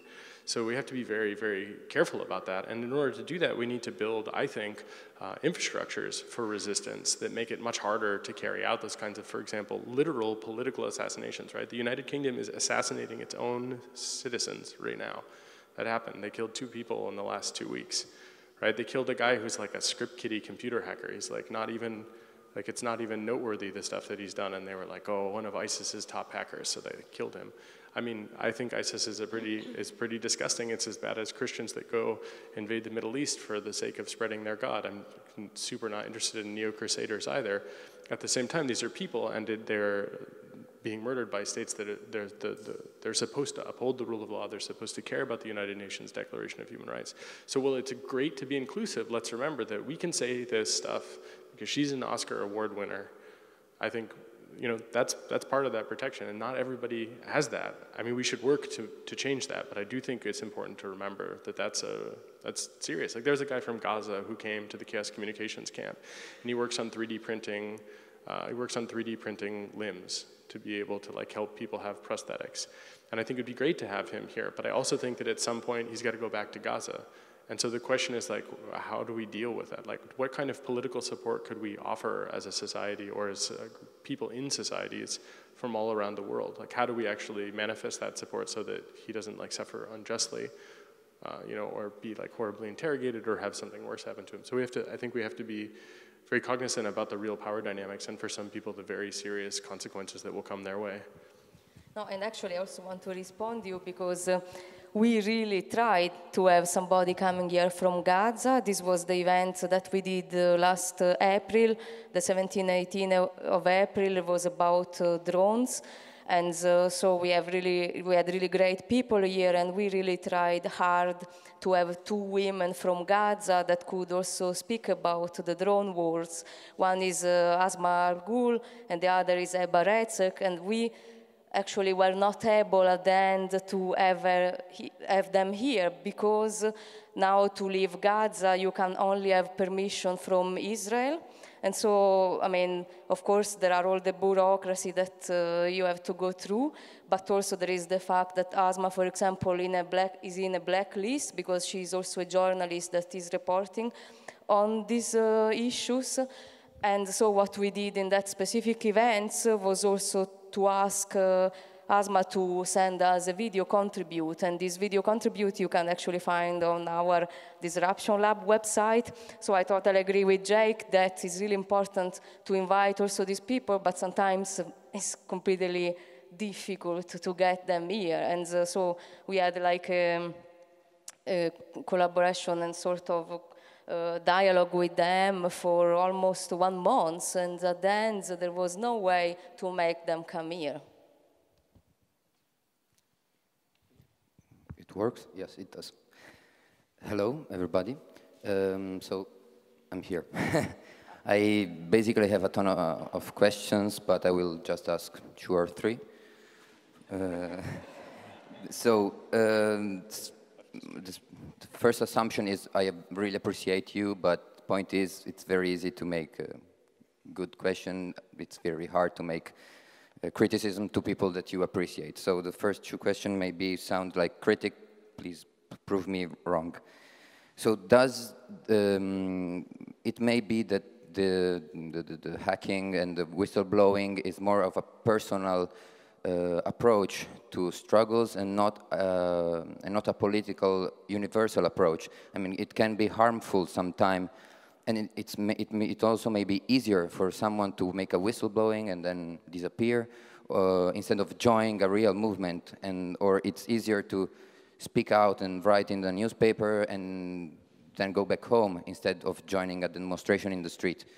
Uh, this is, it may be harmful, it may, it may be just selfish to stay home and do this, or just say, I provide instruments you do your business, you do the clashes in the streets, you, you, you use ObscuraCam to, to take photos during the demonstration and blah, blah, blah. I hope this is clear. Then a more technical question, but it's also kind of critical. Um, uh, recently, WikiLeaks released uh, all the um, hacking team uh, documents, uh, RCS um, software company from Milan. It's a, a company that produces target instruments to, to, to control, it's a targetized instrument to control activists or people and was selling it all over the world. There was this big hack and instead of providing the documents to uh, single newspapers, to journalists, to create a personal, as you did yourself, you, to create a personal contact between the leak, the, who, the, the guy who did the leak, and a source, a filter. There was no filter, so everybody was uh, able to get directly what they wanted from this data. So there was, like hackers were looking for other hackers that were working for this company. Or, I don't know, in Colombia, people were looking for documents regarding Colombia. What, how does the filter affect the, um, the view um, of, of, and how this, this goes out to the, to the masses because journalists always have some filters in mind. If you're from US, you you regard, I, I stop here, you understood. Um, and also the last question, I promise, uh, the, um, how, how, how easy is to communicate uh, highly technical issues to, let's say, the masses? How, do you use metaphors? How, because in Italy, we had this leak about um, hacking team, but many other leaks concerning Italy as well, but nobody cares. There are big struggles, but on, on other topics. Nobody really understands what they're reading if they're reading it. So how do you engage a real communication with masses? That's it, sorry. Uh, yeah, I would like to um, answer to your first question. And I think um, one assumption that kind of um, underlies what you're saying is that the real hard politics that's going on the streets and uh, it's kind of a lazy kind of political action if you're just a, a hacker or you're just a whistleblower. And I think that's an utterly wrong perception because um, the penalties and the risk that hackers are taking are much higher than going to a demonstration, even though I'm not devaluing uh, demonstrations at all, that's not what I want to say, but I'm saying hacking and whistleblowing is not a cheap kind of politics. And, uh, but what I actually, maybe you hinted to that um, as well, and I wanted to, to pick that up, is that um, I think it's a problem that um, hacking as a political practice is very isolated among a certain community, and that people who are outside of that community can share their thoughts with this community, and there's still a, a lot of boundaries between hackers and general society, and I think that is something um, that we should change.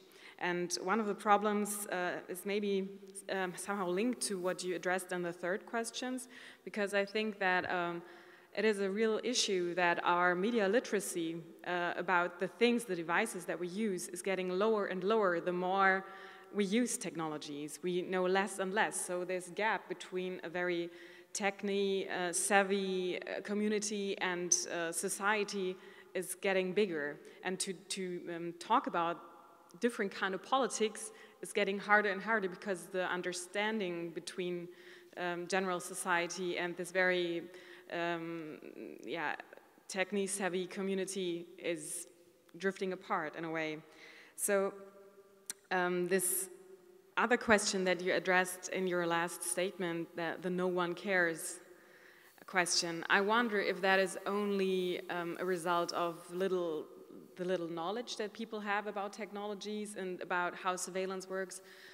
Um, for me, like working on this also as a philosopher, I, think I, have the intuition that there's something more be behind that nobody cares. And for me, the interesting question is like, why don't we care? Like, is it, I think being free and enjoying freedom is something actually very hard. You have to take on responsibility, you have to inform yourself, you have to gather knowledge to understand all the, those political things going on. So um, on the other side, I believe we are so used to being controlled and giving responsibilities to systems that control us that maybe it's the easier choice. So it's, it's just um, theories by now. So it's uh, just, yeah, I think it's a very important questions that we need to ask, like why does most of the society not care? And I think it's not only that there is a gap between the technical knowledge and these techniques. I, I would actually just say that people actually do care, and uh, I'd like a citation for your people not caring, because I think that most people just don't understand how to show their caring in a modern world, and it's very difficult, and so we can just sum it up as people care or don't care, but that's not a database discussion right? I mean, I tend to think that when each individual person is asked about it, it depends on how you ask them, but they, they, they, didn't, they actually do tend to care. Even the hacking team stuff, when you explain this is a company that sold the equivalent of weapons to the Sudan that was being investigated by the United Nations and they violated countless laws, and by the way, they signed their emails with fascist quotes, do you care? Often people say, well, yeah, actually I do care about that. and it's I mean, it's also true that some people care and they support it, right? I mean, well, no, I think you don't see it, which is different than it not existing, right? And that's what I'm trying to say is that we, we need to have a way, I mean, everybody in this room doesn't care. I mean, like, I mean, like, how do we measure those things? How do we know what we know? And how do we know what we don't know? So I, I kind of feel like, actually, a lot of people care if you, like, measure, for example, the number of people that downloaded the hacking team data through BitTorrent. You see all these people who were seeding the data, like, it was one of the most seeded torrents on the internet during that period of time, I think, like, in terms of political discourse. There are not a lot of things that were as politically relevant and like people really joining in. I personally know someone who spent like thousands and thousands of euros on bandwidth personally just to make sure the files were available. Uh, lots of people that went into it. So in my view, actually like, you know, hundreds of people that I was directly talking to on a regular basis, they were dedicating all of their time to it. So my perception of that was the exact opposite, actually, that people really cared about it. And, uh, and in fact, I, a couple of people, uh, Morgan Mayhem and, and uh, Claudio Guarnieri, these um, two researchers who work with the Citizen Lab, they have for years cared so much about it that it's been a major part of their research. And in fact, they've published many reports, and then this hacking team release actually vindicated their research and showed that hacking team was in the countries where they said they were, and they'd independently found that. So I think there are people that care so much they make it almost a full-time job to care about it. Um, and so, you know, don't denigrate their work by saying that your selection bias is the truth. Um, I'll answer quickly. I mean, sorry to be so I, harsh about that, but um, not, not, not, too sorry. I think they're really interesting questions. I mean, in, the first one, I mean, I think that uh, individual action versus joining social movement, I think there's a question of like, what is the, what motivates you to do anything? And I don't think it's an either or kind of a situation. I mean, I don't, I don't think it's like you have a menu and you say, uh, I want to take, I'll take the whistleblower and I'll take, the, you know, I mean, people, uh, like you're put in situations that, that you respond to. And, and I think that, um, you know, as, as a filmmaker, I don't, I don't make films for outside. I mean, I wanted, like I said at the beginning, that they're, they're kind of trying to express something about humanity. I mean, that's what they're trying to do. And they're not necessarily having an end goal that's, be, you know, that's, it is, it is an act of trying to communicate. And that's kind of what the goal is. And then if it has an impact beyond that, that's great. And if it doesn't, you know, it's still trying to communicate. And so it is, in a sense, an individual um, um, action. And but I also believe in you know social movements and other forms of how do you, you don't we don't create change alone, obviously. And then the filtering question. I mean, this is you know I think it's it's.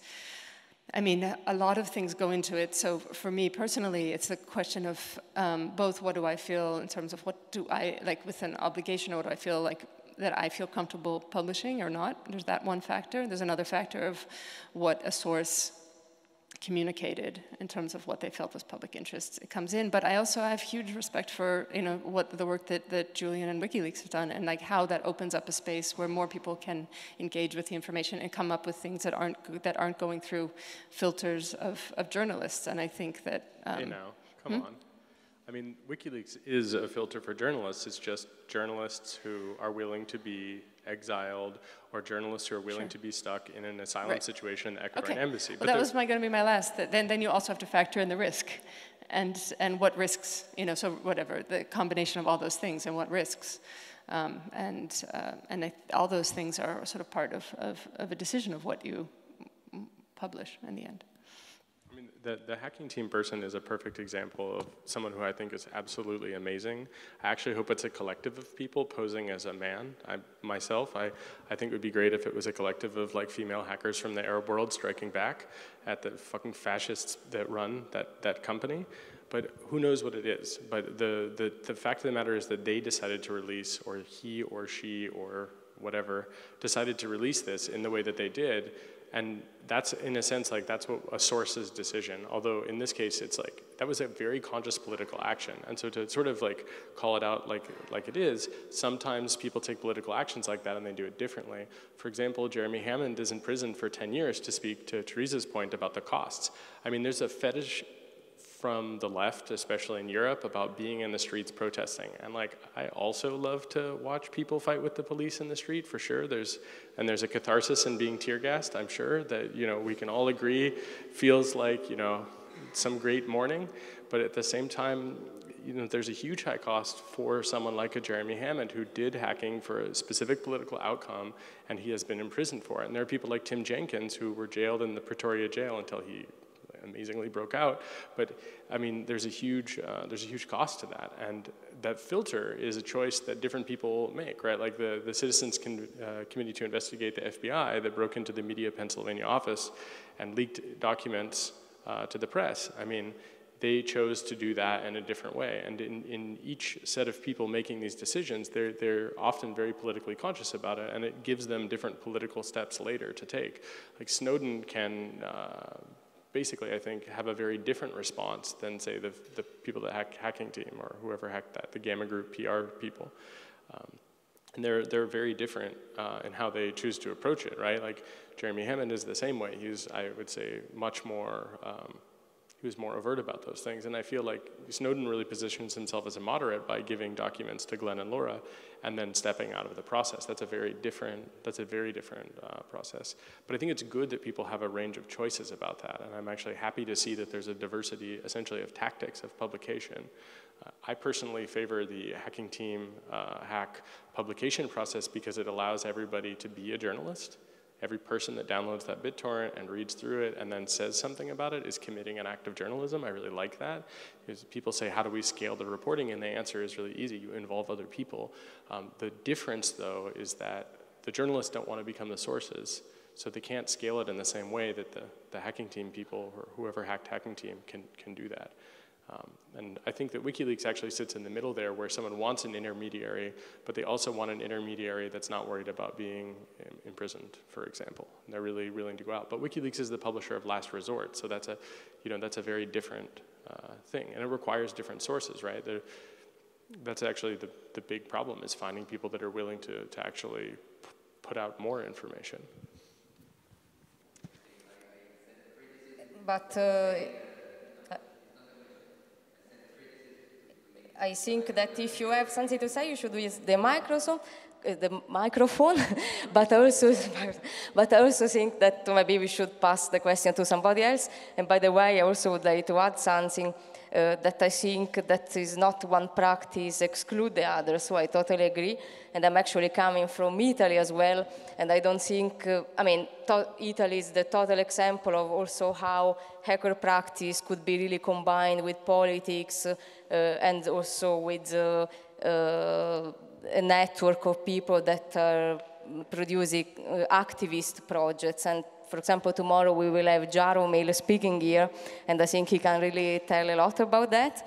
So I also totally see the matter as that, uh, you know, it's great you go on the streets, but you can also hack. You, there are several practices that you can combine.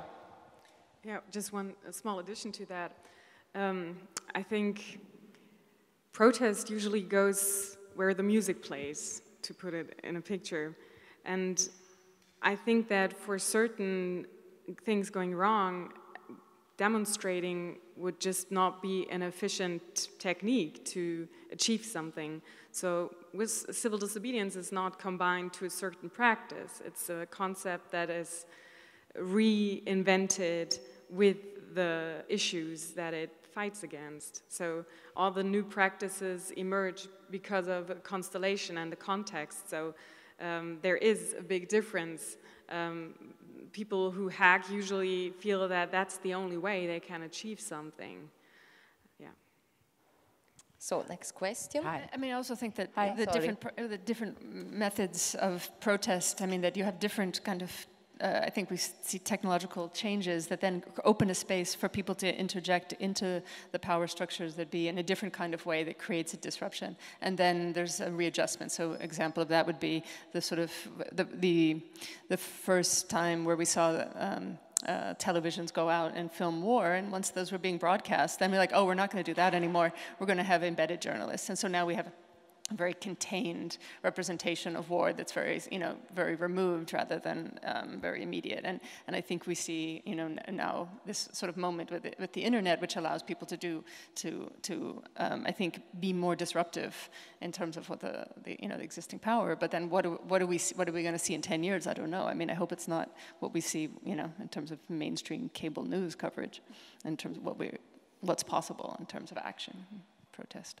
I, I mean, just to make one, I guess, final point about the individual. I think it's important uh, not to fetishize the individual, but I also think it's important not to forget how much an individual can affect something. Tim Jenkins, uh, who Sophie will talk about tomorrow, I mean, like that's a, a super exciting uh, person in my mind because I feel that he single-handedly, through the communication systems he built, brought about the end of apartheid by being a part of a larger movement, right? Being a part of the African National Congress, being a part of Umkhonto we Sizwe, uh, the, the armed wing of the ANC, the militant wing. Um, I feel like he, by building a communications network and helping people to communicate, uh, really as an individual took some very specific actions, paid very high price for that. He lived in exile for a long time. He went to prison for that. Um, at the same time, what he did is he enabled a larger movement. So I think you do need a larger movement, but you need to not do that at the cost of forgetting about individual action. So for example, in, in tactics and strategies for resistance, if we were to get concrete about it, it would be a very radical action if anyone that's in this room that's never been associated with any of us, hopefully you didn't bring a cell phone, nobody knows you're here, you're not on a video, go join the police Arrest General Alexander when he comes to Europe next. Go join the intelligence service. Don't do a long walk through the institution, do a short walk. right? The long watch, you know, the long walk through the institution that the 68ers in Germany did, in some ways they succeeded and in some ways they failed. And if we look at Snowden, he didn't do it for the whole of his life. He did it for 10 years, and at the end of the 10 years, he changed the world more than any other person in the history of intelligence and whistleblowing, period. And what that requires is a strong belief. In his case, he cared about the Constitution, cared about something being wrong. He was able to take an asymmetric action. So look for all the structures that you find to be unjust, and then there may be some places where you might be able to do something. Like, that's not for me. That's, I've solidified in my life that I have to do journalistic stuff or artistic stuff. I'm never going to be like uh, in that space. But there are people that can go into those spaces, and if that's what matters, I think there's very specific actions that are super subversive that actually make the whole world very different, and they need to be done by uh, individuals because there's an operational security component to being alone which is that you don't have to worry about somebody talking and you don't have to worry about somebody blowing uh, that apart. You don't have to worry about somebody arresting you. You don't have to worry about that stuff in the same way that if you work with two or five people or if you're a part of a bigger movement, actually. And we shouldn't forget that. The, the natural operational security of a family, for example, is very different than if you have a group where people have economic concerns where they might be uh, blackmailed or otherwise harmed. So I think there's very specific things that individuals can do, and it takes a long time to see how that will play out for each person, but there's a great cost. And so we need to have a mass movement that will support those people. And at the same time, it can't just be those people in isolation.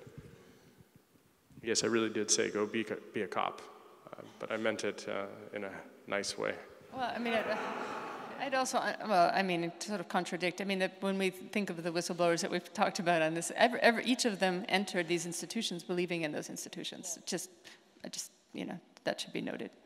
I mean, so there's a big difference between a Bill Binney, uh, there's a difference between a Bill Binney and an Ed Snowden, of course, and what I'm suggesting. But what I'm suggesting is, I don't believe these institutions are good. I don't believe that structures are good like this. And, and, and so I think if you also don't agree with that, instead of tilting at the windmill, burn the fucking windmill to the ground.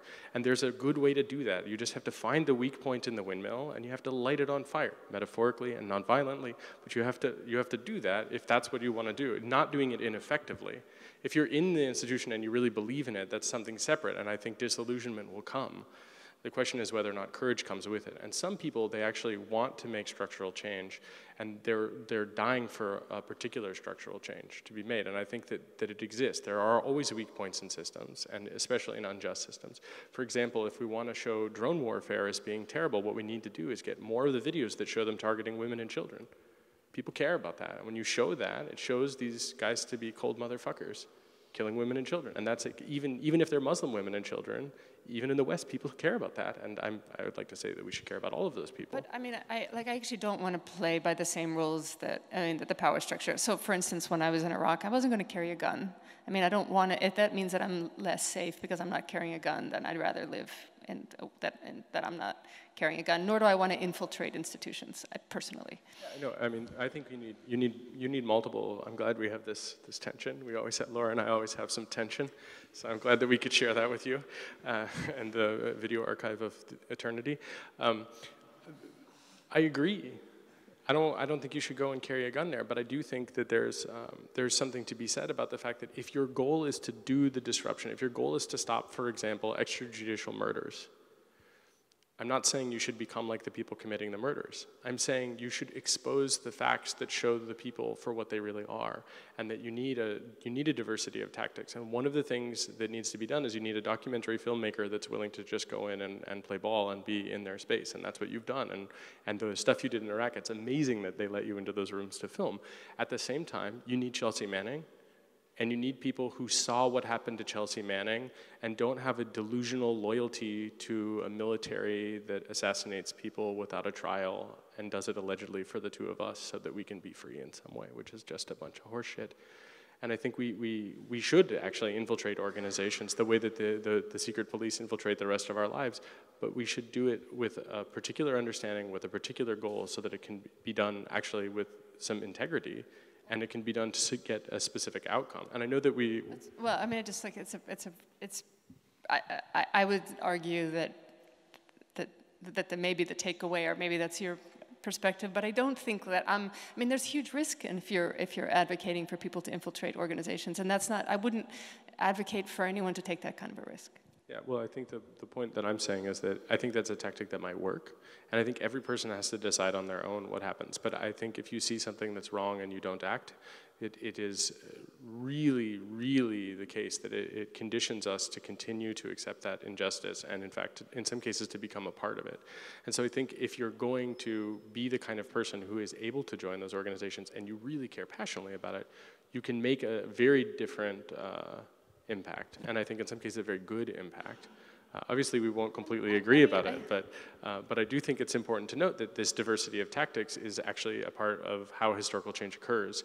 When you have members of the police or the military defect, especially in a revolutionary situation, like in South Africa, when you have people that were defecting from that, it actually turned the tables. It meant that you were able to see the other side. And in fact, it humanizes both sides of this. And so in the truth and reconciliation process in South Africa, you see actually that it went too far. You see that members of MK were planting and doing like really extremely dangerous stuff, and they ended up killing civilians, and likewise, the apartheid government killed civilians.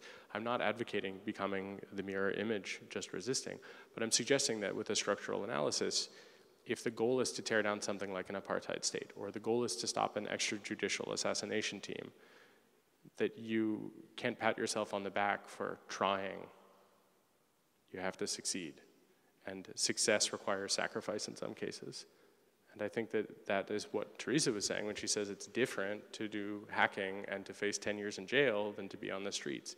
It's not enough to dance to music and protest against Merkel doing a thing. We got to shut Ramstein Air Force Base down from doing drone strikes. That's like the meaningful goal. It's also nice to do the rest of the stuff, but we must not forget that the purpose is to stop the executions in some cases. And that's something which is easy uh, to forget, actually, because it feels good to protest in the street. Hi. But I would argue, like, aren't there other tactics? Like, for instance, if you wanted to shut down Ramstein, for instance. a question that might relate yeah, to So, this? for example, how would you do that? Well, I would say, what, what does it rely on? It relies on the, you know, the, the electrical grid, the power, you know, I would say like... You, yeah, now we're getting somewhere. Let's get into that. right? I mean, there's actually, there's, a, there's an action to try to, uh, so the NSA data center that's in Utah, they built it in Utah, which is a desert, and it requires a tremendous amount of water. And so then the citizens were like, oh, well, you know, that's not okay, that so much water is going there. So they're actually trying to create, say that this is illegal, that they're using so much water as a way, and that's sort of like with working within the system and tactics to sort of try to create change without infiltrating organizations. I mean, for sure, um, reformist policies sometimes work, and sometimes they don't. It depends. And if you're in Gaza, for example, reformist policies probably look like supporting the oppressor that bombs you.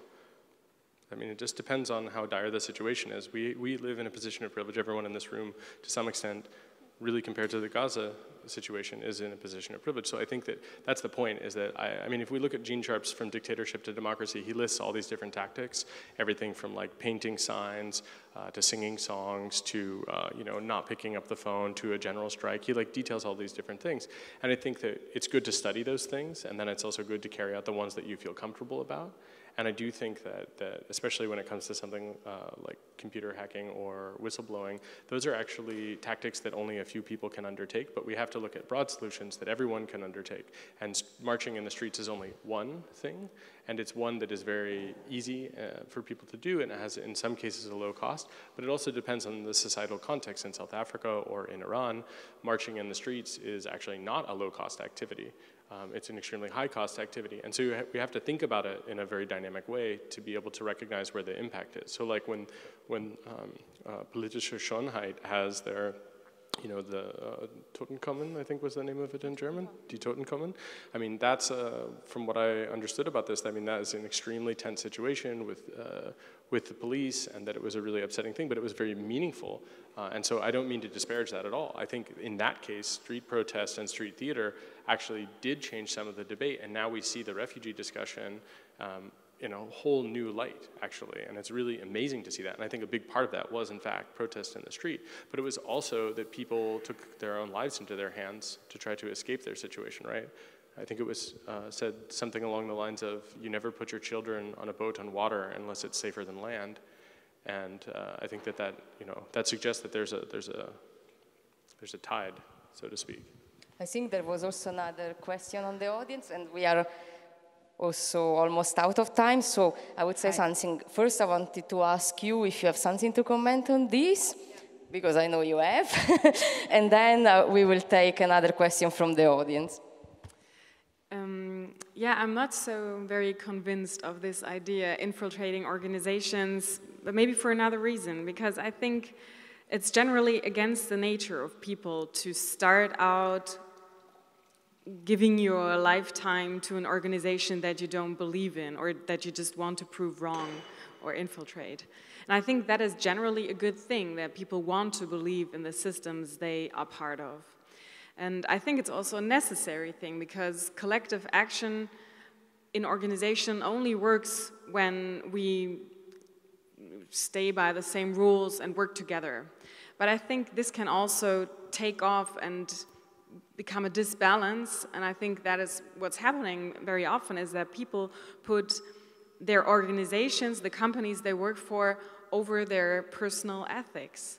And what, what happens is that they go along and stay under the radar with things they don't even commit to. I don't think that everybody working in these organizations is by nature a bad person. I think they're simply putting the ideals and the, the benefits of an organization over their personal ethics. And I think, as a philosopher, I would argue we have to change that culture. We have to change that culture of just going along in this kind of co-conspiracy because we are putting an organizational model over personal ethics. And um, to make to give a more um, relative um, notion to this personal ethics thing in the discourse about civil disobedience, that's actually a quite important point. That even though an individual could act uh, and do something that we can um, see as civil disobedience, but the interesting part is if he does that for his own interest, for his own benefit, or if he does that for a common good and with, a, with an interest that benefits society. And that is the big difference, I think. So an action could actually be very collective, and I think Snowden is a very good example. All, everything he did was not at all for his own benefit. I think that is quite obvious. So even though he was a single person doing that, it was a very collective thing that he had in mind. Okay, so next question, I would say the last one. Hi, I just wanted to ask uh, one question of everybody, um, and that I guess because there's a lot of talk about the U.S. and what is right or wrong for the U.S. to do or not do, and then there's there's talk of the U.K., there's talk of China, and and and uh, the you're, you're, having trouble with the state. The nation is the one that is fighting you to say, well, this is illegal, this is wrong. But is that the enemy? Are we, is, is each nation the enemy? Are, are you fighting this, the nation? Are you fighting an idea that expands beyond that? Are you fighting corporations? I mean, what or who are you fighting?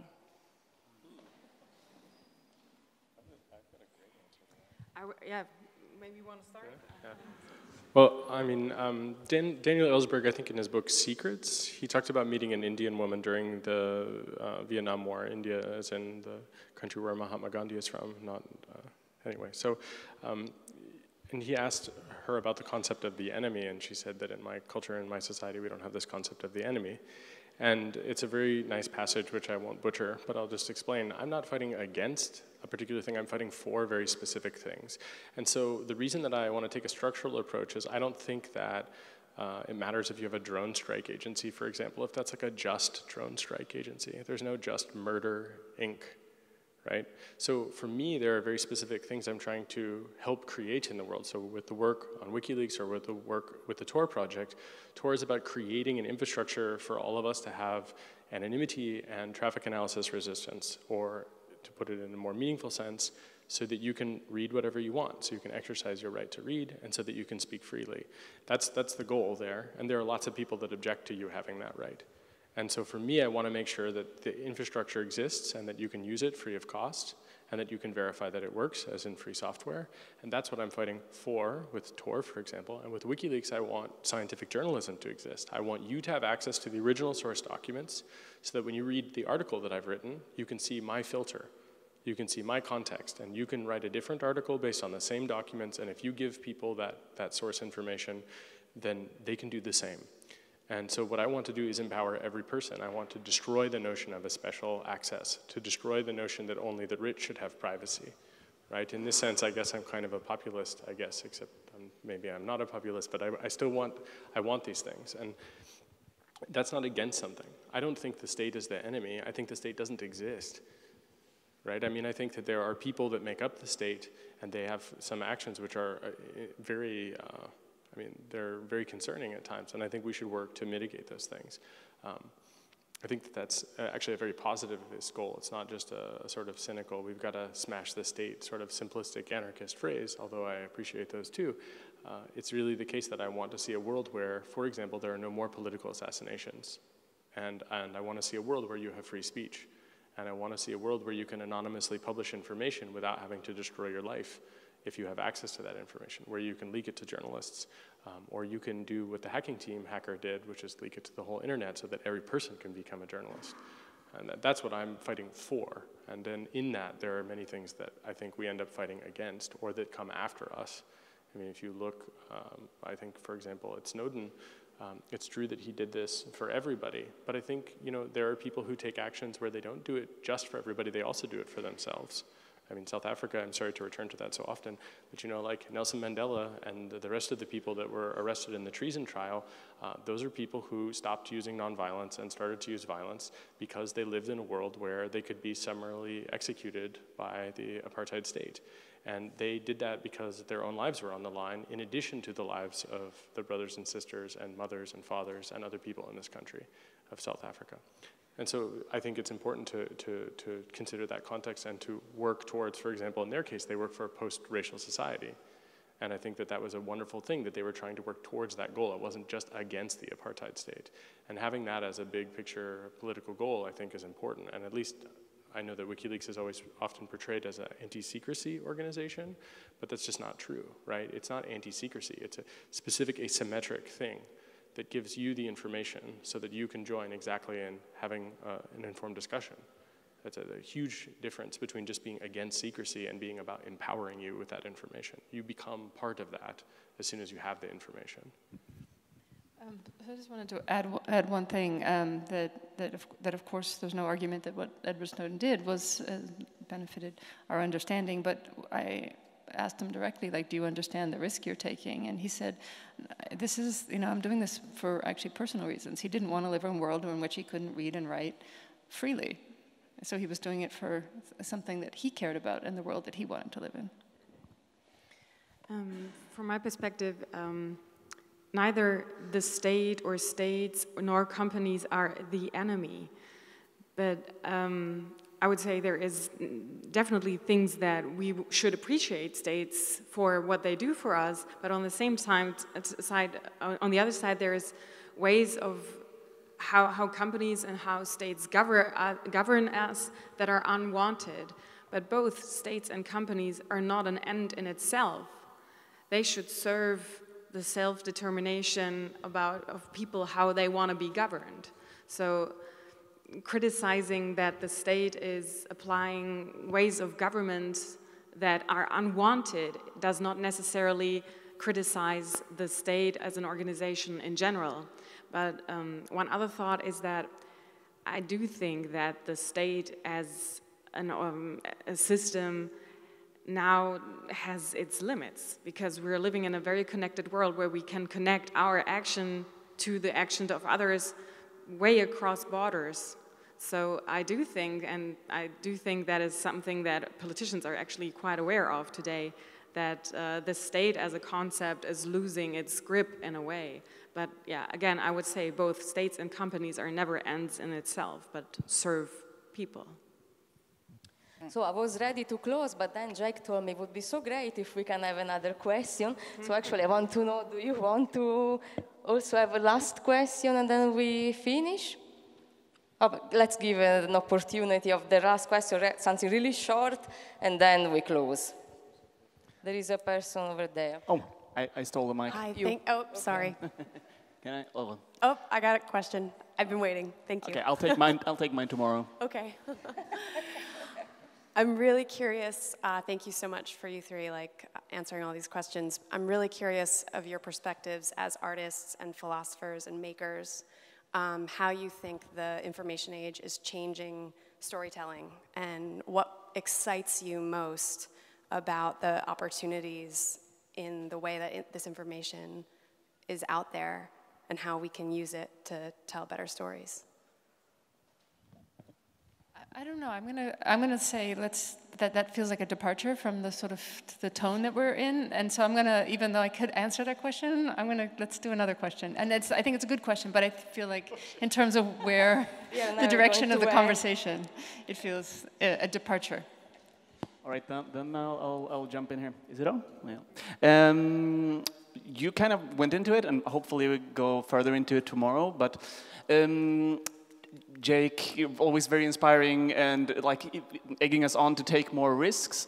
But when it comes to the, the like the civil disobedience, I would like to hear more about what I see as the strength, and also with like the FBI break-in in the in the 70s. Like what made it possible was also uh, the the risk management in the end. Uh, basically, there they got away with it because there were too many. Uh, everyone was suspected of having done it because there was a huge movement.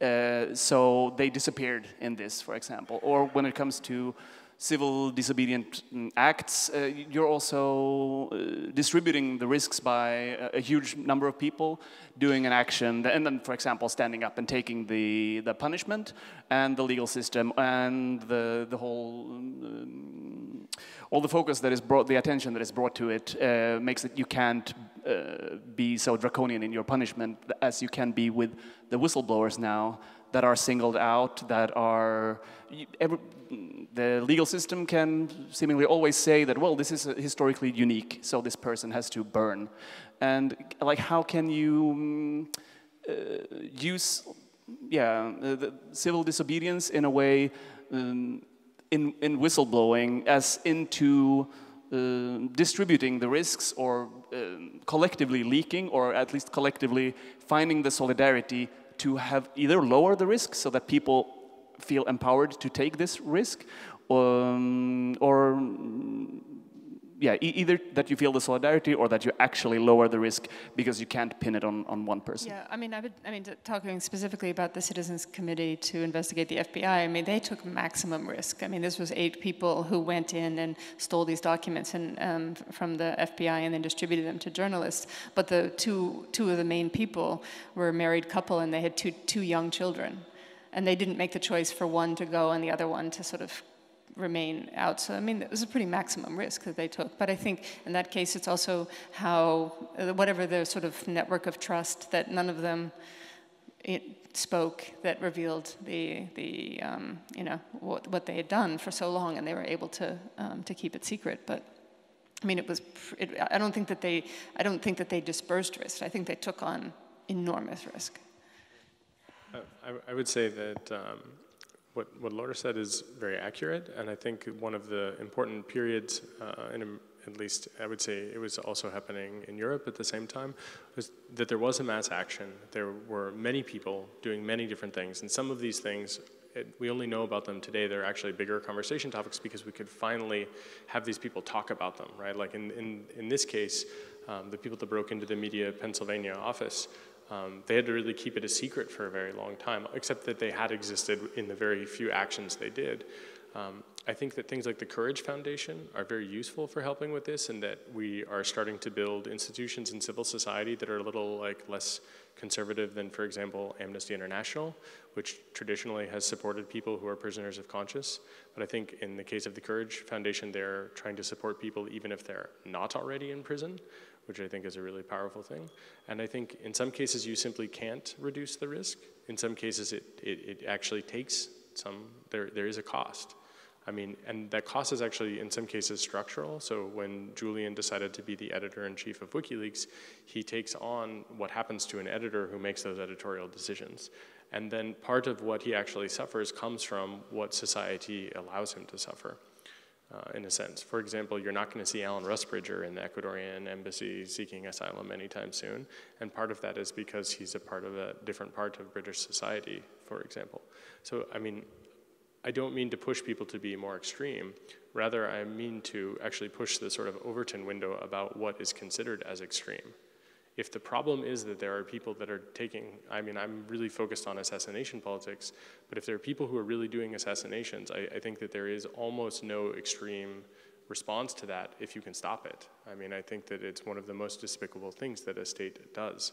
Uh, and there are states that are doing it. And so I think that um, we should just think about what it is we want to see in this world and what we want to tolerate in that. And I think we should work, and we can work to stop those things through some things which are less extreme. Like, for example, I think if you make a documentary film that exposes that, that's, that's a lot of hard work and it can work to change that very much. I also think if you get someone like Brandon Bryant, who um, you know was a drone pilot, and you get him to talk about it, that's obviously not infiltration, but getting uh, you know a policeman to defect, so to speak, that makes a different kind of change, and you need both of those things.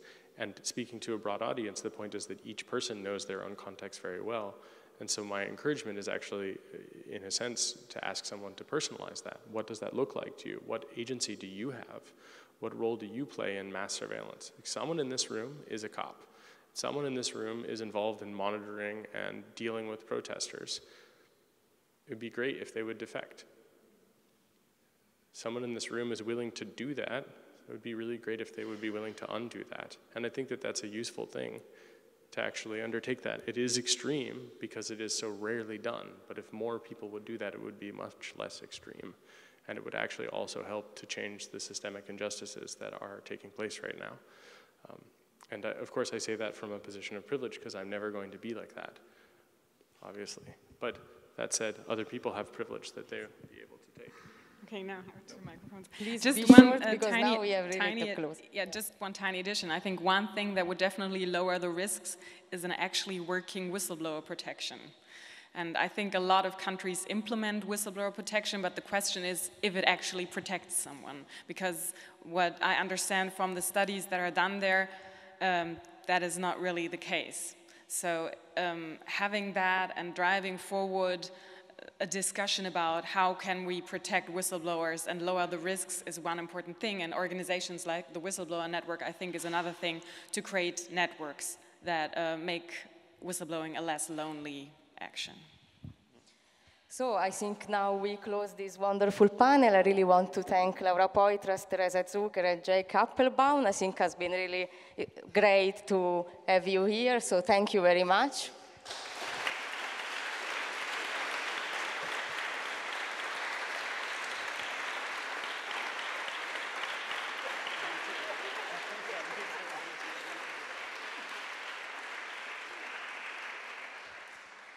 And also want to take the opportunity just to announce the panel of tomorrow that will start at 3 p.m. And we will, the title is uh, Samizdata Strategies for Resistance. So we actually go on with this discussion. And we will have uh, Jørgen Johansen, Jaromil, and Sophie Toupin moderated by Vali uh, Djordjevic. And also we will conclude with the crypto party. So please bring your computer if you want to learn more about resisting surveillance. Thank you.